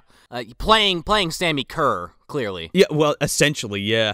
We're we're gonna get into it in a second, but like then he's in the you know there's a clip of this in Terrorvision, and then. W.A.S.P. uh, writes a theme or, or, a song rather for Ghoulies 2 Screaming Until You Like It. Ah. And they released that on a picture disc and a 7 inch that I have. So it's a Ghoulies, it's like a picture disc with like Blackie Lawless's face, like with a bunch of Ghoulies on it. That is amazing. so I wanted to just tell the story real quick. So Chris Holmes, the guitarist for W.A.S.P. at the time, who played on that album and who's actually on stage in this scene, he was at a convention. So I so I bring my my 12 inch my, my my picture disc to get signed. So I go up to him and he already looks like he's had a couple drinks, and, but he's cool as shit, right? So we're bullshitting and we're talking about the band and the music and stuff. So I pull out the record and he's like, "Man, fuck me," and I was like. I was like, "What's the matter?" He's like, "I'm just gonna draw a giant dick on his face, on Blackie Lawless's face, like on my picture disc." I'm like, "Dude, please do not do that." I, I would have had an opposite. I'd be like, do it. no way. He was like, because he said he had like done it the, the the day previous to somebody else. I was like, can you not do that, please? And he's like, all right. Well, if I was any, if I had any more drinks or like if I was any drunker or some shit like that, then it'd be happening. But he's like, no, I won't do that. I was like, all right, cool. And then he signed it. that was it. That is that. If he did that, that is when you see Joe LaScola literally melt into the ground. Um, I've done it where like I asked for something specific. I mean, I'm paying the money, right? Yeah. No. Yeah. And I'm not. I don't think I'm being a dick if I'm asking for something specific. You know. I mean, if you're trying to get a freebie, you get what you pay for sometimes. No, sure. Like if it was just like a, a or like here you go, kid, whatever, I wouldn't complain about anything. But like this is a thing I've seeked out, purchased, waited patiently, bought a ticket, paid you. Please do it the way I asked to do. Don't draw a dick on it. I mean, I, I mean, you know, it could be worse. You could take your item, sign it, and you go home, and like someone's like, "Hey, I think he's saying the wrong name." well, yeah, the fucking the dragon uh, mask. Yeah, or Or it could be, you know, it could be James Karen who just refused to write down his most famous line from the Willies. You know. I just think he didn't remember it and was conf- and was confused. I know. I mean, I'm just trying to connect the dots here. Is really what I'm saying. Well, James Karen was like, "Oh, I'm gonna draw a big dick over the fucking Willie's VHS." Um, but yeah, so I'll, I'll post that on the Instagram. There's no dick on his face, but it's the Chris Holmes uh, signed uh, picture disc. I I would love it if like he started, and you're like, "No, no, no," and he crosses it out, and like you know, sign, and then you kept that, like, Yeah, like Clu Gulager, you mean? yeah, Oh yeah, with the different markers. That's a great story too. Imagine, imagine drawing a dick on that, just right into the fucking cat's mouth. right next to where he wrote "This Pussy Killed Me." He might have well as well have. This is a weird fucking scene, by the way. It's it's weird. It's it's not even sorry, Charles, but you're not a director. he basically just like he filmed like a concert. That's it. Yeah, but it's it looks like somebody who filmed a concert at like the Stone Pony who wasn't getting paid that just showed up. Right. And was like, all right, I'm gonna take a bunch of shots of the band now. Use it if you want, but it's gonna look like shit. Ah, okay. Yeah. and there's like one or two more shots we need of him like licking the knife, threatening Gwen, licking the knife, threatening Gwen, licking the knife, threatening Gwen, and then he's beaten. Yeah, but I love it because he because Paul goes up to Blackie like right in the beginning of the concert, and Blackie fucking just like whacks him with the bass, and like Sean said, he gets fucking like Sammy Curd off the stage with like this bolt of electricity. Oh, Oh, yeah. yeah. it's like an electric, like a blue fucking electricity comes off him. But like, you could have got another minute of Buechler segment instead of like exactly. Paul just like casually like pushing through this crowd. Like, I mean, we've all been there. If you've been to a concert, it gets kind of hairy sometimes. Yeah. But did we need that for a solid minute? I don't know. They they promised W.A.S.P. most of that song, so I guess that's we're we're just filling out time. Yeah, Paul, just you have to just stand there until they get to about two thirds through the song and then make your move. Look befuddled. Only a few people, like director wise, can get away with just like, hey, here's an entire segment where just a band sings a song and you're not gonna do anything about it. Like David Lynch does an entire like Twin Peaks season three, there's a whole Nine Inch Nails song for no fucking reason. when we get to the crux of the scene, it's like like Blackie has Gwen and she's like in this like metal punker get up and she's like tied in this closet and he has like a machete and he's like he's like licking the machete and shit like about to kill her or whatever and then he like turns into Richard Moll for like a second I, I guess that was him the whole time. Is that the implication? I guess and then Paul just casually sits down and types in his laser program to disintegrate or whatever Yeah. and he defeats W.A.S.P. by playing this tone out of his computer and they all fucking disintegrate. I'd like to know how that one works, but okay. I'd, question mark. I'd like to also get out of this scene as soon as possible. And I don't have anything against W.A.S.P., but this was like a little too long. You know what's funny is like Paul is basically Mega Man now. Like every time he has a new boss encounter, he has a new ability he walks in there with. He like upgrades. it's the only way he can beat these bosses. like, But but Mega Man actually reuses the powers. Paul never does. No. oh yeah. I mean, he reuses lasers, but they're always in different forms. So If you don't rely on Launch Octopus's homing missiles, what are you even doing? right, right. So that's it. Yeah, that's it. Yeah. He fucking blows them up and he and he grabs uh, uh Gwen or he goes to grab Gwen and they and then he gets fucking shat back out in the fucking in uh Mestema's arena. oh, you're back. I mean, you must have won. Blah blah blah blah blah. And and this is the point where Paul is just like, huh, this guy's kind of a chump, right? And just like starts insulting him like hardcore to his face. He calls him old and he calls him a bunch of shit. He calls him old and fat, and like I'm like, he's not fat. You're just being mean, Paul. Like, You tired old man, you fuck. This is the point where uh Richard Moll like leans over to, to Gwen. He's like he's like, Hey, how about you fuck me instead of that guy? And then all of everything reveals itself. His whole plan is that he just wants to fuck Gwen, and it has nothing to do with Paul. You're a Beelzebub. Just uh, take her soul and call it a day. What are you doing fucking around with this uh, challenge or whatever, this rage war? Well, it comes out at here too. I think he's just fucking bored. Yeah. Hey, you know, and I, I brought up in our chat, I brought up the demon from Demonic Toys and how like that dude was just whinging about it. He's like, 67 years, someone yeeted me into a fucking ditch. 66. 66, there we go. Sorry, yeah, 66 years. 66. You know, you gotta get that satanic shit in there. Yeah, 66 years, and you know, while before I was yeeted into a fucking ditch or something. Right, before he got Luke Skywalker, right. He, Well, yeah. yeah. exactly. He never seems truly bored to me. Richard Moll's, you know, Devil Man looks fucking defeated the entire time. Oh, yeah. He goes on a fucking tirade later. He's like, I seen all the plagues and all the wars and all the shit. I'm fucking bored. I'm so bored. Get a Netflix subscription, uh, Richard. I think you'll be okay. Someone just rolls a fucking 3D TV up to him. He's like, "This is amazing." Oh my goodness. This'll last me for another couple centuries. When did they start doing this? Actually, someone's like, "Well, this trend is actually over with, so you're good." Get this man a PS4. Get him on an Atari. The man needs something. Super Mario Brothers? Yeah. Keeps him busy? Yeah. now I'm trying to beat it by going backwards. Give a slinky. He's like, "Oh man, flight me a flight of stairs." I straightened it. Is that how you play this game? Paul shoots like a laser at him and he's like, You fool, there's no way to penetrate this barrier. I have the power of a thousand souls. What is he, Shang Tsung now? Yeah, right? And then but then I'm like, a thousand? Like, you should have more than that, no? Yeah, billions, zillions. Like, okay, you're bored, but also, are you a lazy Satan? Like, do you only get like the motivation to go rile up and fucking, you know, challenge a mortal soul for their, you know, to damn them for eternity, like every hundred years or something? Well, I was thinking about starting an island and a, and a competition where people fight each other. I mean, he can change his form.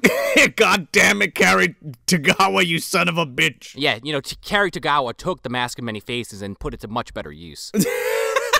so he sends him to the next level, and it's like this ice cave. Yeah, but he gets pissed off at him. He's like, oh, oh, you shut up. Next round. And he, like, drops him through the floor. Here's an ice level for you, douchebag. I brought you here, but fuck you. He drops him into the fucking ice caves from Donkey Kong. Oh, yeah, without a doubt. Filled with uh, a bunch of terrible, terrible people and Einstein. And Albert Einstein. And Lak Sivrak from the cantina, the werewolf guy. Yeah, he's there. Jabba's in the corner. Oh, ho, ho, Chumbawamba. It's like a Futurama lineup of like history's greatest villains. Like it, like Jack the Ripper is there, Werewolf is the, the Wolfman's there. Like Yeah. Random ass samurai. other notable historical monsters. I'm like, this is something that Matt Groening would line up to go. I, actually, I think he did. So this is the fourth uh, level or the fourth segment, uh, Ice Gallery, directed by Rosemarie Turko. I, I kind of like the idea more than the execution here. There's not enough time to really explore this No. in any cool way. Which, with what is thrown in your face, Yeah. you kind of want it, right? Yeah, no, totally. Yeah, because like the implication here is like, okay, so this is the devil, right? So that means he has taken all of history's greatest monsters, literally put them on ice so he can use them later, I presume. You're angry at this dude. It's like, here, go hang out in my freezer full of serial killers. Have fun, dickhead. Paul's like, every crim- criminal in the world is here? And then I'm like, Einstein was a criminal? I, on, I mean, on one hand, the Manhattan Project.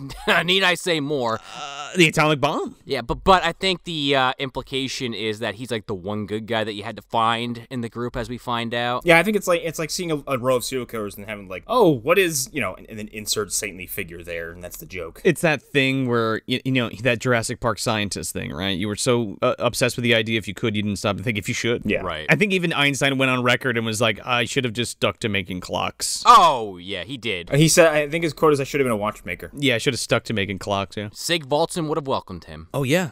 Yeah, I think he's there, right? Ah, I mean, he pops in when he needs to. I'm here with the clock, with the clockmaker, with uh, Sigvaldson. Fenrir's definitely there.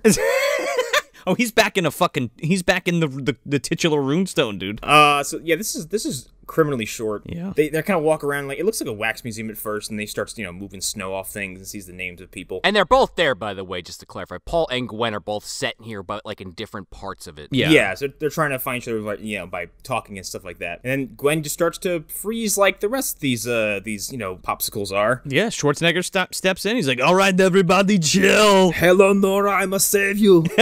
Aren't you? You're going to be my new wife now. Put you in the tank. Roro Zoro's there. He's posing. You know, he doesn't want to look stupid if he's going to be stuck like that. but yeah, so like Gwen is uh, like frozen and then taken again because like the, the the point of these challenges is like Gwen is in peril and then Gwen's not in peril. That's seemingly so. well, uh, Richard Moll drops Paul through a hole. Oh, that's right. Yeah. And then he's like, and then he's like, okay, what are you cold or something there, Gwen? Let me heat it up. And then guess what happens when everything heats up? All of the monsters are let loose, with the exception of Einstein. I mean, it was kind of telegraphed, but I didn't hate it. Yeah, and also you would think that uh that this would result in Paul being turned into like just a pile of goop on the floor. Sure. Nah. He's way too capable to be defeated by like the most evil men who've ever lived. Yeah, I think like like there's like the witch doctor from Beetlejuice. There's Attila the Hun, Jack the Ripper. John Hurt's there. And he just sw- he just swats them all away. Yeah, he fights a fucking samurai and wins. Yeah. Dude, he just puts the fucking wrist blade up and it just electrocutes the samurai. He like predators this motherfucker. Uh, meanwhile, Jack the Ripper is attacking Gwen and is too preoccupied with like vamping to the camera or the audience or something, and is just like over posing and dancing and fucking looking at his knife, and like it takes like all of 45 seconds for him to do nothing and get knocked out. Did you know I was the Whitechapel murderer? Ian Holm played me in a very boring interpretation of my story. I like it, sort of. I do not. Have you read the the graphic novel based on my account of my murders? And that's exactly why I don't like it. But like Joe was saying, you know, Einstein for whatever reason is the only one that doesn't defrost. And uh, as as the fucking literal mummy's coming at them, they kick her kick it to the side and like tumbles into all of them. and they're like, ah, we we need the ice, the ice. And I'm like, did I miss something? Yeah, well, I think the there's like an ice crystal like in the throne where Einstein is like propped up. Yeah, he's holding it. Yeah, Is that what kept him frozen? It was just too cold. I guess. It was like the big crystal that Mr. Freeze is looking for, nice. the big diamond. Um, no, I don't know. And then t- he blows it up with a laser question mark, and they win. Yeah. Guess what happens next? They go back to Mestema in his arena. That sounds like a fucking barbecue joint. Come down to Mestema's arena. We're gonna cook him some hogs. yeah, it's across the street from Esteban's nightclub. Esteban. Mestema is shocked like every time he completes one of these challenges, but they are like they're the easiest riddles or puzzles uh, that you could really think of, at least up to this point. and they're always and like this is like you know you contribute this obviously to the movie and like the budget constraints, but like they're always very small in scope and so self-contained that like the solution to every problem in these things is like usually directly in front of Paul's face. Oh, and uh since Mr. Freeze was invoked, and uh, I forgot to mention it, we, we kind of have to. Paul even makes a Mr. Freeze ass joke while he's in this cave. what does he say? he goes, he looks at Gwen, he goes, keep cool. And then, like, he thinks about what he just said, he goes, cool. Chill. What killed the dinosaurs? The Ice Age. What happened to Einstein? The Ice Age! Mestema. But yeah, they get teleported back, and uh, Mestema's like, ah, yeah, you know, I got a, I got a, uh proposition for you. What if uh, I let you go free and I get Gwen? And she's like, yeah, he's not gonna go for that. And he's like, yeah, I'm not gonna go for that. Well, what if I uh, sweeten the deal? and this big ass uh, chest of gold pops up in front of him, and Paul's like, huh. Nah, I'm good. I'm only in debt. It's fine. It's like you could build you could build your own mansion or whatever. There you go. And then Mestema is like, well, if that doesn't uh, wet the uh, proverbial whistle, how about this? Three hot women that are climbing all over you. And Paul kind of like loses himself for a second. Yeah. He's like three for one. That's my last offer. What do you say, Paul? And like instead of just Paul, like no, he's like he's thinking about it. He's looking around. He's smiling. He's thinking about fucking Dracula's castle. some weird, some weird menage a trois. But then Gwen's like, uh, Paul! And he's like, oh, oh, oh, yeah, yeah, yeah, yeah. No, no, no, I'm good. Uh, I was, I'm only half mast. All right, I I'm not taking it, Mestema. He's like, damn good try. I forgot I'm flawless and steps forward. Yeah. Imagine if he just split. He was like, all right. If he just took the girls and left. Yeah. Mestema is like, that actually worked. I can't believe it. oh. Um. Oh. Okay. Uh. Here you go. Well, Gwen, uh, what do you like to eat? I'm a terrible cook. And then uh, he, I don't know what prompts this, but he's like, yeah, there's no fool like an old fool. Hey, yo! you know, yeah, he, he heard that one from our friend Sal. Whoa, cool it, pops. You want to blow your pacemaker? What is this, a goddamn depression? Oh, that's right. Yeah, because this is when he starts calling him old and fat. He's like, "You're old and fat and bored." He's like, "I," because at this point, like the, the strings are starting to show, and Paul's like, "This isn't like, there's no point to this other than you need something to do." Yeah. right, he call he calls Mestema a wipe. It's it's awkward. Yeah, Night of the Demons, everybody. Yeah. Um. Movie Dumpster episode 30 season 1? Uh, it- it- you know, it's the one on Halloween. Episode 31, I believe, on Halloween, which was October 31st, I think. Anyway, season one, Night of the Demons. Like how we worked that out. Yeah. Then we get this uh This is weird. the weirdest scene in the whole movie in my opinion. Okay, so this is the fifth level, and it's a Slasher. That's what it's called, Slasher by Stephen Ford. Now, this is the only thing Stephen Ford's ever directed. Do you think he like championed for this? Like he's like, all right, so you have this whole ah! movie, right, where I could do anything I want for like a, a, a, a, a game level. So you know what I'm gonna do? I'm gonna write a motherfucking murder mystery New York slasher movie. that is top loaded with footage of our main character running. Uh, that's most of the segment. Well, call back. You brought it up earlier. Yep. I j- okay, I just saw this great movie. It's called Maniac. right? Literally. You know, you slip a little Dr. Giggles in there with the scalpels, but yeah, yeah. He's got a scalpel collection. We'll get to it. Yeah, I uh, I wasn't really into this segment at all No. until I saw the you know our our you know titular killer here, It's fucking weird. and I was like, oh, it's the singer from a-ha. I'm okay with this. it's George Michael. no, I was gonna say it's Body by Jake before he started working out. Paul falls right into part eight, and he passes Alfonso Ribeiro. He fucking waves at him, and he picks up like this newspaper, and it says, and it's like a, it's like the slasher takes another victim, and it's like a picture of Gwen, and he's like, oh no. Could you be more on the nose? You really think they're gonna print in the newspaper the slasher? They're gonna say serial killer kills another person. Well, I think that's like the name because he's killed a bunch of people already, so that's what they they gave it to him. Well, sure. So he like finds this body like under some cardboard or whatever, and then a disembodied Richard Moll is just like, yeah, that paper that you just saw is tomorrow's news, so you have until whenever to to find the killer and make sure he doesn't kill Gwen. Bye. I got it from Biff. this is awfully contrived, isn't it? it's a, I, I, it took me a long time to think of this one. I'm trying something new. The majority of this, Paul is just in a cop car. He gets picked up by the police. Immediately. yeah, immediately and he's like the cop's like what, what the fuck you think this is halloween or some shit did you kill that woman get in the car you fuck This one cop with the mustache is hilarious. oh man Because he is just bitching and complaining to the other guy driving. Hey, what kind of donut is this? After he's already bitten it. Uh, jelly. Oh, I hate jelly. Why would you ever buy me a jelly donut? Oh, it tastes disgusting. he goes what kind of donut am i eating and he's like i don't know jelly he's like jelly i hate jelly why'd you buy jelly What's all that red stuff in my mouth? I've been telling you I hate Joe since you married me. but he keeps eating it And then he looks at uh, he looks at uh, Paul. He's like, "Ah, what are you dressed like Gumby or something?" what are you supposed to be gumby That that man has never seen Gumbies in, No. in his life ever. this man doesn't exist is the problem the only comparison to Gumby you could even make is that it's kind of the same green. That's it. I t- Oh, and he goes, "Oh, where's Pokey?" Oh, yeah get it I have a question regarding these like weird existential scenarios that you know Mestema comes up with because after this one's resolved, it appears to keep going. yeah this is the only one Like like the narrative within that little world just continues. Are we implying that with Jack the Ripper, Bloody Mary, and Louis the Thirteenth, the werewolf is real? is Einstein really frozen in hell? probably It's just a weird decision to have like because he eventually like finds Gwen. She's at like the uh the dance studio from the beginning, isn't she? Yeah, there's like there's like another movie happening, right? And they just kind of pop into it. Yeah.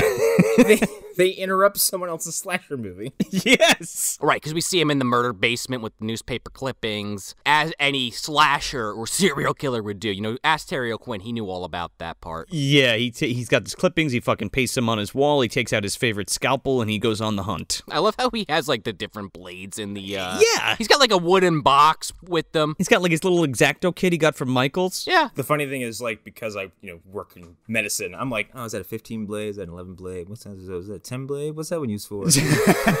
What's the mi- what's the millimeter on that? Uh? while they're in the cop car, you know, Paul's trying to break out of the cuffs with a laser beam, and they hit a fucking bump. and he gets the shit shocked out of him. They're like, oh, is there a problem back there? He's like, ah, uh, bumpy ride. You guys need new shocks. They're like, ah, you wise ass. We spend entirely too much time in that car, and then he gets out by lasering himself out of the fucking handcuffs, and then throws himself from the vehicle. Yeah, they don't smell any burning metal or anything. They're just like, huh, okay. P.S. Those doors don't open from the inside in the back seat. By the way. No, that's the whole point. Look, the man has a laser, okay? I mean, I guess he could have technically shot the lock, which he very well may have, and I missed it. But uh, yeah, Joe, you're 100% right. Paul can open close police doors, and he can also divide by zero, okay? He's got that. He's got that norm power where he just touches it and it opens. Yeah. He doesn't afraid of anything, okay? I think the, the big thing that confuses me about this segment is that like Gwen is in every other level she's aware. She's she's Right. like she's exact she it nothing's changed, right? She knows exactly where she is, what's happening and all that kind of shit. In this segment, it's like she loses her memory until Paul finds her. Yeah, she's like an active participant in the scenario. Like, she's just playing a role until, like, she has Paul directly in her line of sight. I, I guess like that's it, that, it's just a very weird part of this level. I, I think, you know, what Joe's saying is 100% right. I don't think she ever realizes that, you know, this is not a, part of the, uh, Richard Moll nightmare because she doesn't really get her memory back until the next segment. She's 100% thinks this is all actually happening until the last possible second. Yeah, which is strange to me because that hasn't happened in any other level, is what I'm saying. Like, is that actually Gwen? Uh, or is that some, like, vis- visage of her and Richard Moll's just fucking with him? Uh, maybe. The case in point is she's aware in every other segment, and this is the only one where she kind of plays somebody else and, like, goes to the dance recital hall because she's a dancer or some shit. Yeah, which which I kind of like how this is like really darkly lit. Uh, kind of you know you think back to that earlier scene, you're like, huh, all right, this is a pretty cool movie. Yeah. No, it, it it's not bad. It's just severely out of place here. It looks like Maniac. Like it, it has that very, you know, Yeah. Oh yeah, nighttime-y stalker feel. Nighttime New York, dude. Yeah. Straight up. and and of course since we talked about it already but we get this scene with him literally running through this town to get to the dance studio for like a minute straight. Full fucking sprint. He fucking has the computer on his wrist, like scramble a car's radio and like feed the guy different information like oh the the suspect is on the fifth street and then he drives away which i thought was kind of neat. Yeah. It's just very strange. And then he like yeah and then like you said he's running for like what seems like three fucking minutes of this of this segment. It's like the whole scene where batman's on the motorcycle in dark knight trying to get to the joker. But he gets there and i feel like the only reason they had uh, gwen be a dancer is so they could have this shot where he fucking bounces a laser off the wall, off the uh, dance mirror to hit this guy. Sh- like everything's closing up and she's in the back the killer comes goes to stab her and then paul just shoots him Right. Yeah, I also I did love when he walks into the studio because I didn't realize what you know where he was at first. Yeah. he enters the room and like he gets close as he gets closer to the mirror, like his reflection pops up, but the rest of the room is not lit well enough for you to see it. So it just looks like there's just a mirror image of him coming at him, and you're for a split second you're like, "What the fuck?" I thought it was cool looking. oh that's kind of neat It's easily the best part of this particular segment. Sure. Still not great, but the best part. Because, you know, of course, he's got to, you know, introduce his whole uh, reflector laser that he's going to be using for the rest of the movie. yes especially the next segment he saves her.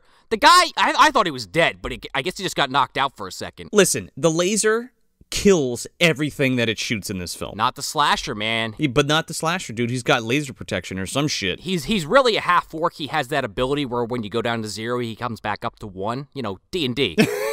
and he's weak enough because the so they they like zap out of existence and the cops run in and then just pick up the slasher They're like, "Huh? Did you see that? Nope." nope sure didn't okay let's book this fucking guy even though we have no Our weird existence inside, inside this micro universe. but they have no evidence of this guy you know what i mean i'm talking about the story that we don't see Right? Is there really a slasher? Yeah, and the, their lead-in is like Paul showing up and going, "Call the police. There's going to be a murder," which is very suspect. First of all, like, right Myra is like, "Are you gonna do the murder, or is somebody else do the, what's happening?" all right well just grab that guy with the scalpel okay it's him So we go back to Moll's Arena, and uh, you know this is the first time we keep calling it zapping because like when you're watching this movie, that's what it literally looks like. it's just like a flash and some shit happens Yeah, but uh, Gwen specifically is like, ah, he's gonna zap us again, and Richard Moll's like, zap?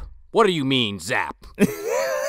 And Paul's like, oh yeah. He's like, hey, I'll zap you. And he just does like a finger gun towards Richard Moll, and he just about jumps out of his skin. that was a good gag What magic is this? And he's like, "Oh, you want to fuck with me? Okay, power of Astaroth, summon my demon in the fucking in the fire right there." Well, because they keep saying, oh, well, you know, if if you really wanted to kill us, you would have done it right in the beginning. He wouldn't make us go through all this bullshit. And Richard Moll's like, uh, yeah, uh, look at this shit. yeah, that's an excellent point. Here, meet my lost soul. the closest Dungeons and Dragons thing, just to keep this thread going, that I could even compare this to. I guess it's like a flame skull, but it's like a flame demon head. I, I don't know what the fuck they're going for with this. Ah, Beats me, dude. He's like, oh, you can't defeat this. And Paul, like, just shoots a laser at it and it disappears. he just zaps it with the fucking laser, and it's just like, oh, and it disappears. Literally defeating the powers of hell with this computer laser. Paul hasn't like really broken a sweat yet either. No, even, even all that running, he's not sweating. Yeah, he's there's not there's not a scratch on him. He doesn't have any grime or like. No. he's the furthest thing from like John McClane you can get as far as like you know a a hero who's gone through some shit. No, he's not going through shit. This is like a Tuesday to him. no, see, he's a perfect specimen, and he runs every day after work, so he's good. I mean, he's part of that program we heard about in the beginning that we got no more detail on, so sure. Yes, put him in the Cybernex, this the Cyrax program. Oh my god! The Lin Kuei come in and just take him? That's what happens at the end. Yeah, that's why it was called Cyrax. We just, uh, you know, you signed the contract. You should have read the fine print. LK unit P A U L.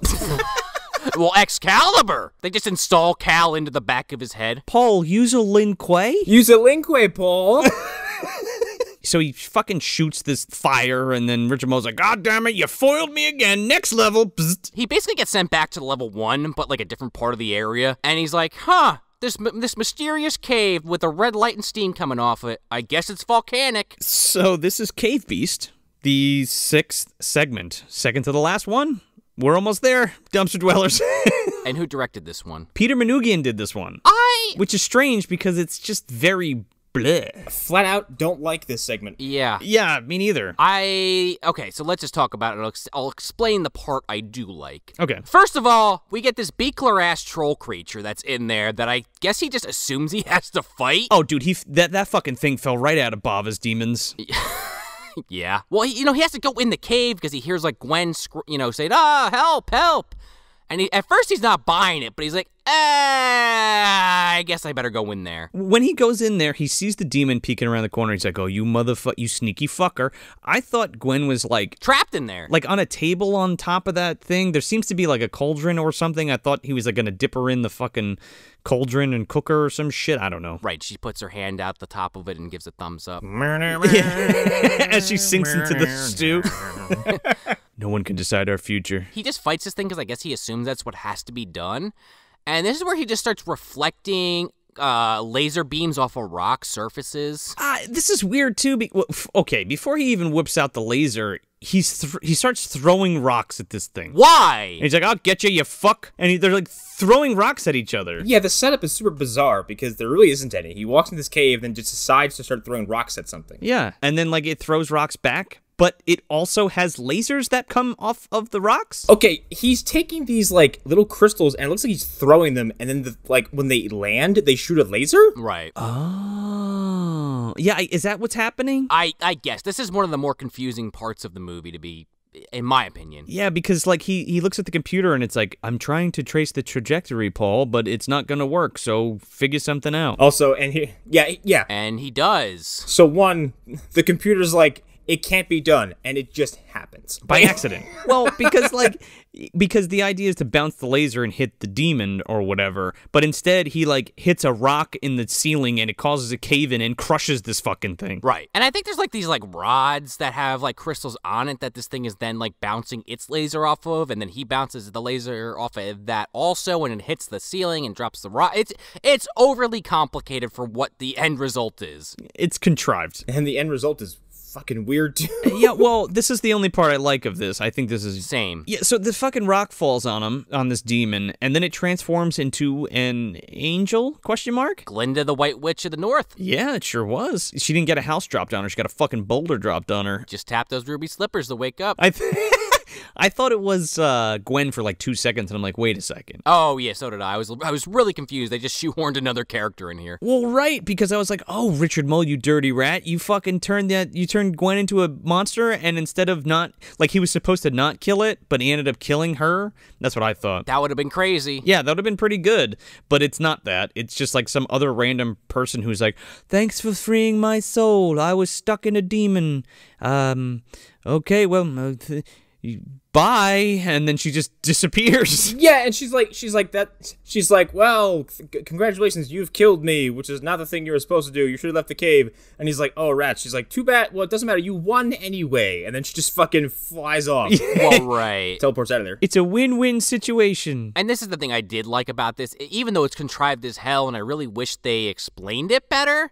Uh, the idea that oh, you could have just left and not fought this thing, and it would have counted as a W, but because he went in and actually defeated the creature and freed her soul, she's like, yeah, you could have won in a much easier fashion, but you took the hard route and you saved my soul. So I guess thanks. I I, I think that's what they were trying to imply there. It's just really poorly conveyed to the audience. No, I mean I get that part, but you, does he get like bonus points? Gets like an enchantment or something? Why would he need an enchantment? Nah, I guess it it just proves he's a good dude, I guess, even though he killed it. Question mark? He killed this fucking thing. Well, at least she's not in a a, a never-ending hell inside a volcano where she has to throw crystals at people every few centuries. This is true. Even when he loses, this guy wins.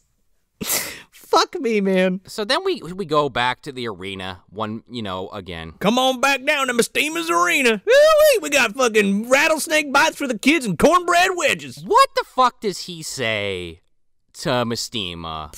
He's like, ahimsa.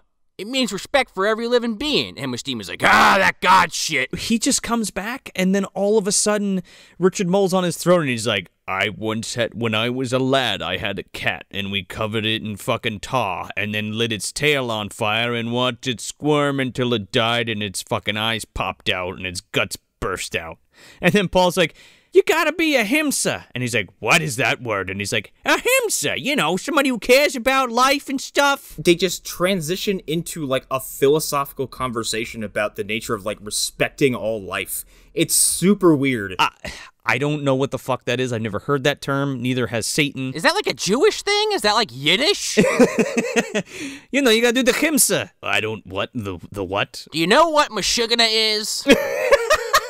Not himsa, himsa. right. I mean, that's what I'm. uh, You know, where's Crookshank when you need him? He could have translated. Oh, maybe. I do not know word himsa. I don't know what that is. Maybe I should use it for code word. That makes sense. If he used that as a code word, this fuck, the, the, whatever winner's stepfather that got that program would never be activated because no one, I've never heard it, that word until I watched this movie. Well, no, I have to endow him with powers from beyond. So himsa is part of this one.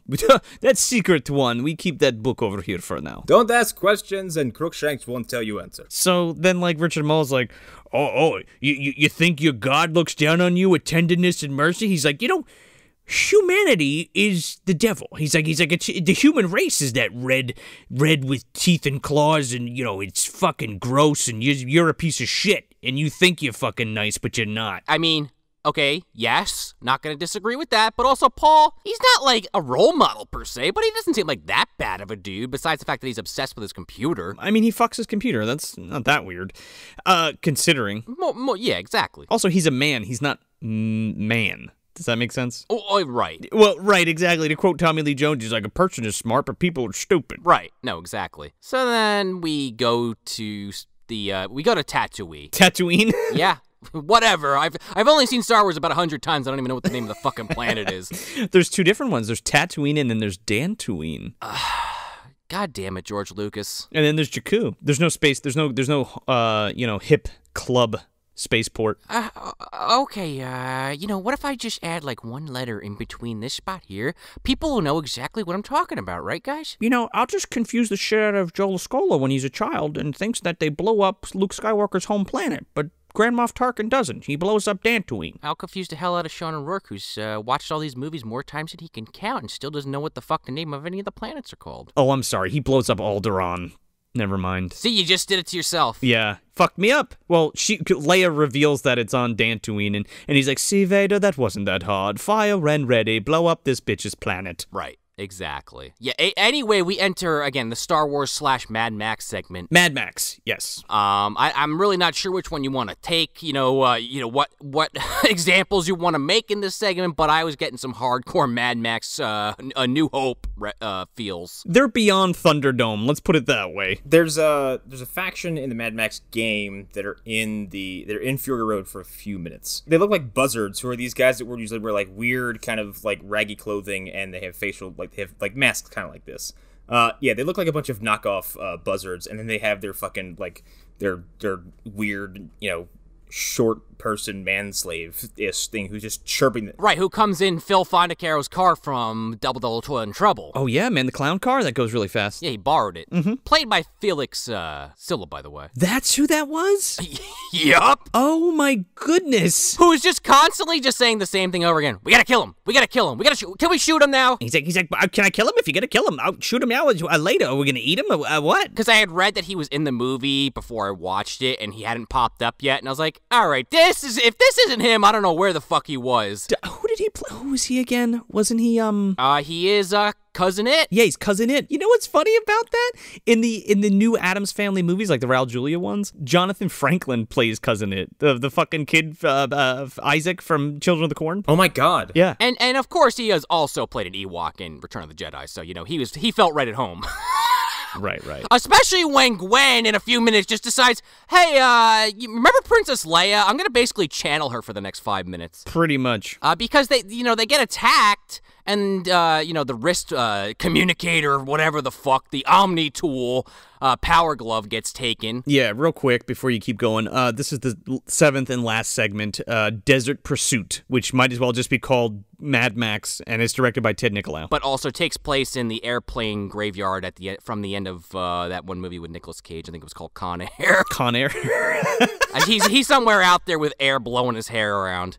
Feels good. But uh, yeah, they they take the wrist thing and they they're, they're fucking with it, but they won't give it to Felix Silla, so he just leaves in his car. He just quits. He's like, ah, I'm going. Just fucking walks away. It's like when fucking uh, the, the vampires are fucking with Blade's uh, titular, you know, the blade, his sword, Yeah, yeah, yeah, exactly, exactly. and it like cuts their fucking hands off. Well, that's basically what happens because he's just verbally talk. They don't don't even like put a sword to this guy's throat or like a, a foot on him or anything. They're just like, yeah, keep talking, whatever. It, ca- it can't possibly mean anything bad. Why didn't he just kill him? Well, yeah, because he's like, yeah, laser, shoot these assholes. They're like, huh? And they all get killed. Yeah, but he like he announces every one of his intentions via instructions to the device. He's like, Cal, uh, here, shoot at these fucking coordinates. And they're, none of these guys pay any attention to him. All their focus is on this wrist thing, and he just murders all three of them as they're unaware. The first thing he says is, uh, "Hey Cal, uh, uh, is your laser still equipped?" Right. And it's like, "Yes, Paul, it is." I just assumed he had to reactivate it every time. I didn't know it was just like if you set that one to go, like like you guys were saying, like Mega Man, it's just it's already in in gear. It doesn't even have to charge. Yeah. And it has modifications. It makes modifications to itself live. Because he's like, okay, set a trajectory for this coordinates, this coordinates, and this coordinates. And it's not like you could even argue like they don't speak his language because again, Felix Silla is saying, "Can we kill him? Can we kill him? Can we shoot him? Can we shoot him?" Yeah. over and over and over again. Also, how did how did how did Paul know those coordinates? I don't know. He's supposed to be really smart, remember? He's the smartest person on earth, seemingly. So the he fu- he fucking gets the the wrist laser to shoot these three fucks, and they hijack a a, a war rig. And it what it literally tra- wiped transitions into them in a fucking death car. Uh, this war rig death car, it looks like that piece of shit car Elon Musk revealed like not that long ago at a conference. in his weird tuxedo. When you said Elon Musk, I just pictured Ellen DeGeneres. Oh God, those are two people that I do not want uh, to fuse or be involved in anything MDU related. Just gonna put that out here now. No. So they're driving in this Mad Max ass scene. Like, oh yeah, I, like I, I'm trying to sit here and think like what's running through their mind. Like, how do they beat this mission? they're like, I guess if we just drive a little while, something will happen. Yeah, because Gwen's like, I hope you know where you're going. As they have a goal of some kind. The, the this one is the most tedious to me. the tiny wastelander just shows up in this vehicle again, and then they have a fucking they have a shooty shooty duel. Yeah, she shoots him and he blows up. She's like, ah, all right, I, you know, th- this is where she goes full Princess Leia, and just like, th- I guess they took one of the guns from the Sand People from earlier, and she's just like blasting these motherfuckers. She fucking shoots Felix Silla. He fucking explodes and flips over. And then he's like, ah, ah, oh, wow, we didn't shake him yet. And then she does the same thing to the other car, blows it up. And then she's like, ah, yeah. Ah, yeah, sweet, we did it. She's like, yeehaw! Richard Moll, like, magically takes control of the car. Uh, yeah, he turns into Penguin for a second. Yeah, well, he cheats twice. He cheats here, and we- we'll get to it. But um, he fucking so he takes control of this car, and then like makes another car appear, and then crashes them together, and they all explode in a fiery death, and then end up back in his fucking arena. Right. And then he's like basically saying, well, you lost. I guess I get your soul. And then Paul is like, hey, you know what? I have a persuasion score of like plus 100. Uh, hey, what what if we just don't do that and we just have like one more fight that you you know you're not contractually uh, uh, obliged to uphold, but uh, come on, come on. He's like, he's like, you big fat overlord, you stupid idiot. He's like, this isn't a contest. He's like, you, you're bored, man. He's like, you don't know the thrill of being immortal and that could lose, man. So he's like, why don't you just cut the bullshit? No magic, no nothing. Right. The only rules are that I, me and my, me and Gwen leave and we're good to go. And then Richard Moll just with his fucking seven feet of monstrous man just starts attacking Paul. Right. I okay, I love this sequence because he comes at Paul like like posed like the Iron fucking Sheik. His arms are fucking all the way out, and he's coming at him like he's gonna bear hug him. and then somehow they end up over by like a volcano. Yeah. Oh, they end up on Mustafar. I have the high ground, Anakin. Heihachi's there throwing Kazuya in there, and he like looks over and he's like, "Oh, what the fuck's happening over there?" On the other side, yeah. Oh, Obi Wan and Anakin, Ka- Kazuya, uh, Heihachi, and these and these two all stop and make him across the ravine. Like, what are you doing here? Oh yeah, and the American Dragon Ball cast is there too, oh my god. fighting those fucking monsters that turn into bridges or whatever. Everyone just pauses. Like, hold on, are we all at the same volcano? Come on, guys. And and Justin Chatwin is like, "Yeah, I still don't know how I'm gonna get back over there. Just just just cut." Just cut. I'll be over there after we come back. We'll get we yeah, we're good. Just keep going. So then, like, somehow, some way, Paul, without any magic or technology, overpowers Beelzebub and throws him into this fucking volcano? And then he's just dead? That was the deal. He said no magic or anything from from uh from Richard Moll. But again, I can't stress enough like Paul is peak is peak physical condition. Like he's Sure. pretty built. I mean, he is thin, but he's, he's not like a brick shithouse. But he could probably fuck this dude up a little bit if he tried. I mean, yeah, if he, if he is basically just like Charnetsky in every other way but personality, Yeah, because he's been sitting on his ass for a millennia, I guess he'd be pretty out of shape. yeah. I think I think that's what it is. Like that's why he lost because he was out of shape as fuck. He stood up and blew both quads. He's like, ah, damn it. ah shit. he pulled a Vince McMahon. Paul beat the fuck out of him. He got that fucking that big backhand on fucking Paul, and then he like got out of breath, and then Paul got the upper hand. This this is the part where I became very confused. What was the danger to Paul that he needed to have the uh, this giant laser beam fly out for him to grab onto? Because he looked like he was just like laying on the edge there to me. Well, first of all, uh, Richard Moll like says some kind of incantation which like breaks the ledge, Kinda. kind of, and then he's so he's already cheating, and then Paul like pushes him over. He falls into the volcano, and then of its own accord, the computer shoots like a fucking pole made of energy, pure energy, and he like Paul like grabs onto it and like pulls himself up because he's gonna fall in. Like he doesn't have the the footing to like get up from where he's at. I think. I unless I just my eyes aren't working. It looked like he was literally laying down at the edge of this fucking cliff and just like reached up and grabbed the pole and just like kind of stood up. This man's core strength is incredible. Like just Sure. just flip backwards or whatever. You know what I mean? It it, it, it was slightly confusing for me, but I I okay sure whatever. Let's move on with the plot. Uh, yeah, and I'm also more perplexed as to how powerful that fucking computer is because now it create matter out of nothing. Yeah. What? The laser was already question mark, but now it's like, okay, here you go. Here's a bridge. Yeah, now you can just make things out of nothing. Like you can create like structures that can be interacted with. So that's pretty much it. Paul like grabs Gwen and they get transported back to their apartment and they're like, "Oh, we're back. We're back. How about you, uh, Excalibrate?" She's like, "I'm fine. I'm a I'm a regular computer now, not a wrist gauntlet." They're like, "Great." And then Gwen's like, "Hey, Paul, let's get married because Excalibrate told us we should." And he's like, "Let's do it." That's it. Yup. And then it just and then it goes on like the credits are just like they tell you like who directed each fucking like segment and then it just goes to like regular credits. Which I do appreciate because again, some of them I could you know you could tell, and some maybe not so much. It's just weird because they're like not sure what they wanted to make. And they were like, "Yeah, well, fuck it. Here we go."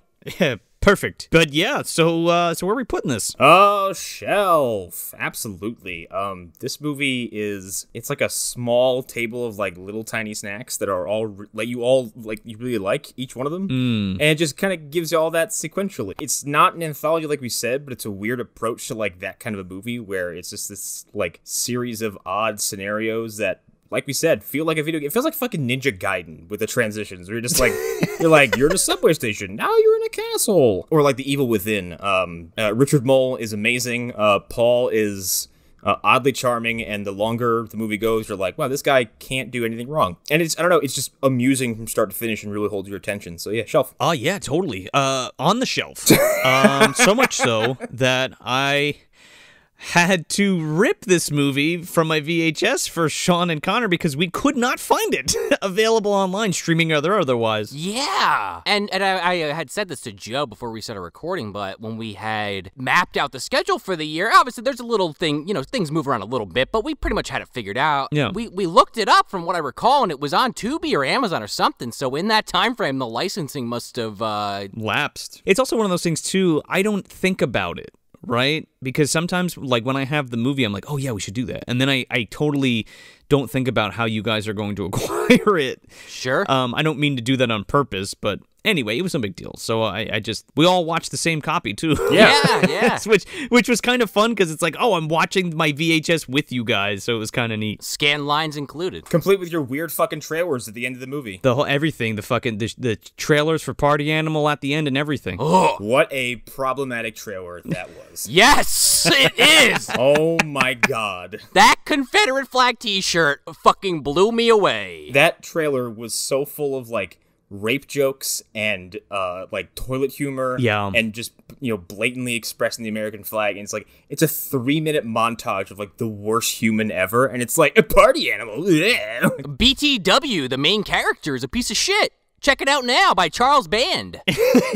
You don't even need to see it, like you saw it already. Yeah. Yeah. No, yeah. You even got the whole like lightning, uh, lightning uh, video intro and everything. Yes, that was cool. Yeah, but yeah, on the shelf. Uh, this movie is like I don't want to say the greatest hits of Empire Pictures, but it's kind of like a party mix of Empire Pictures, which I like. Like like uh like those savory snacks mix checks mixes. It's got a little bit of everything, and some taste better than others. You know what I mean? But you eat them all anyway because it's still all good stuff. I really dig this movie a lot. I'm gonna be revisiting it soon just because it's this it's it's a breeze to get through. First of all, and it, like Richard Moll's eating every piece of scenery that he can get his fucking mitts on, and it's just really cool to see uh, a bunch of um, directors in the same camp kind of get together and, and just have have a good time and kind of do their little their little segments or whatever. Um, it's super straightforward. There's no bullshit. It's just like, yep, uh, I'm a genius, uh, and we're stuck uh, playing games with Satan. Here we go, and that's it. And it's a ton of fun from beginning to end. Um, and this and the fucking score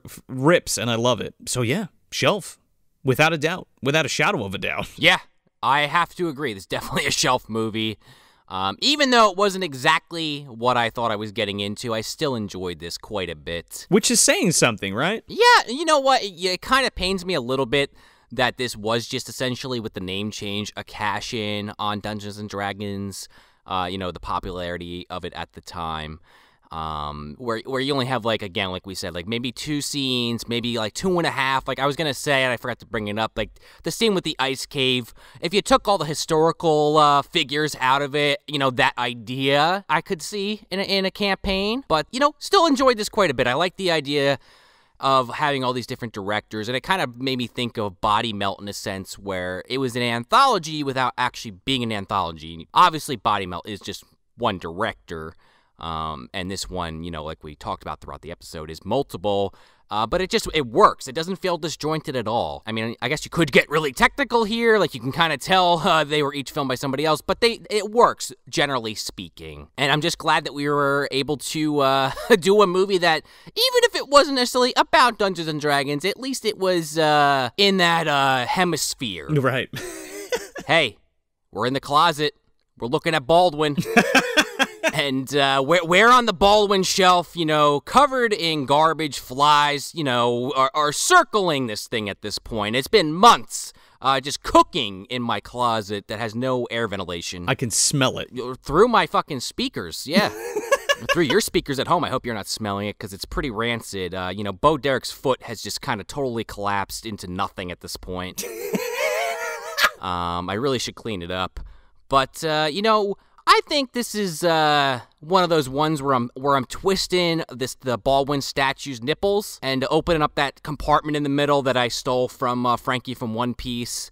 Uh, but you know, you know, just to kind of keep the D and D theme going, I think you know, in the context of the Baldwin statue, these aren't like pepperoni slices; they are D20s. Maybe made out of pepperoni slices, honestly. You know, get that big, uh, Damn. honking uh, thing of pepperoni and you can cut it up, but someone just made a D20 out of each one. I would eat those die. I, I would not, but uh, have at it. They are covered in Daniel Baldwin sweat. Yeah, but you can suck on them fucking Daniel Baldwin nipples. Mmm, no, I'm good. Mm. I, I, I don't want to suck on the statue's nipples or the real Baldwin's nipples. uh, but yeah, you oh, you know that you know you twist the die, and uh, that chest uh, compartment opens up with that portal inside from John Hurt, the technology that I either stole or was given. I'm you know I haven't been totally clear on that. I'm sure I actually did say it in an episode, but I couldn't tell you which one. And uh, you know there's that vault in there, and it's not really organized because you know once I put the movie in there, I, you know I don't know where the fuck it goes. I know it's in there, and I can recall it at any time, just like a bag of holding. I just think about the item and it shoots into my hand. but uh, it's in there. I, I like this well enough. I, I won't say I love this movie, but there's parts of it that are really well done, and the overall connecting glue is good. I like it. It's it's probably a solid three out of five for me. So I, I'd probably revisit this. And hence why it goes in the Baldwin Vault to be revisited. You know, what's what's the next big D and D date? Uh, you know, not gonna hit another 2020, so I'll have to think on that a little. But the next time I wanna I wanna watch uh, a movie where Richard Moll basically fucks with some dude for an hour and 17 minutes, uh, this is the movie I'm gonna look for. Not ha- well, it actually probably would be House. Now that I say that, Yeah. definitely a shelf movie. oh yeah, for sure, man. So uh what do we got what do we got coming up on the schedule? Well, we kind of teased it, but our, our friend Arlen Harrow is coming back to the show, and this year he is not uh, being forced to suffer the piece of shit movie Green Lantern that we had him on for last year. No. Which I'm still recovering from. Arlen Harrow of Los Harrows podcast and the Phantom Zone podcast. Indeedy. Yes, we're doing The Wraith. Oh yeah. There's going to be some returning people to, from the MDU. I, I already name dropped Clint Howard. There's uh, one major, uh, you know, the POS uh, in this film that I can't wait to just shit on for two or three hours. Well, we're gonna be we're gonna be welcoming Charlie. Charlie Sheen's coming into the MDU, baby. Uh, yeah, Tiger Blood, baby. mm-hmm. I'm looking forward to that. Arlen has not spoiled anything for me, but he has said he is very happy to come on and do this instead of Green Lantern, and uh, I don't blame the guy. Oh yeah. And uh, beyond that, uh, we got Trick or Trash. It's coming back, guys. Oh yeah, it's coming up. Folks, uh, you know, we, we didn't forget about it. We got a lot of great stuff coming up for Trick or Trash for you guys. And as always, check that MD guide on that Instagram. It'll tell you exactly what's coming up. Yep. What episodes we got coming up, what if we have any interviews coming up and um, special events and stuff. So definitely go go do that. Give us a follow, give us a like on uh, Facebook and uh, follow us on Twitter too. And Instagram and YouTube. And Instagram and YouTube. You know, again, that fucking Munchie video. Check it out. Oh, yeah. The Nothing Matters. Check it out. You know, the Rodney Dangerfield triple Lindy through Mario Brothers. Check it. The fu- if you haven't seen these videos, what are you doing if you're listening to this show?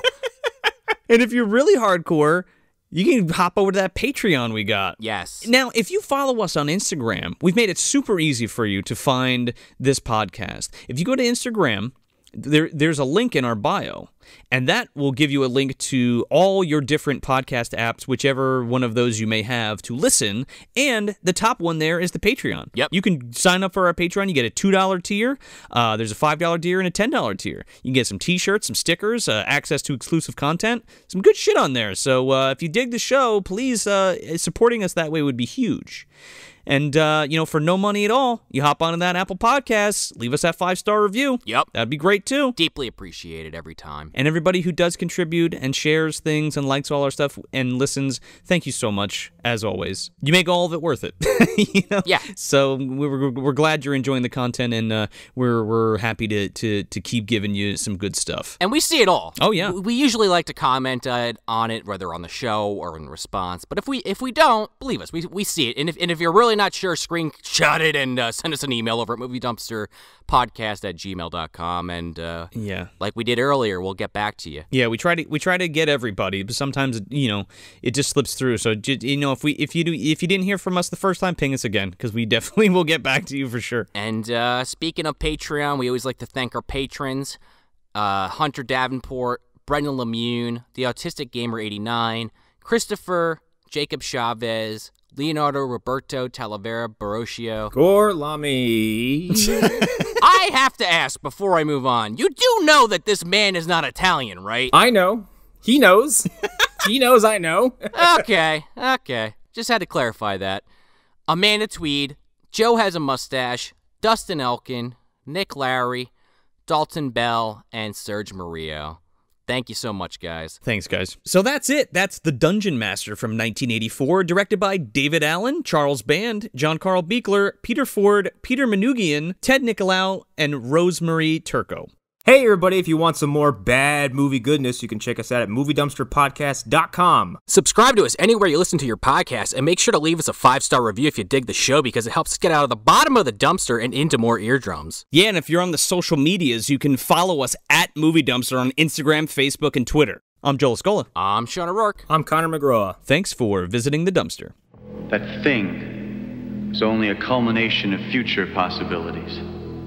In a future reality, I shall destroy you. I reject your reality and I substitute my own.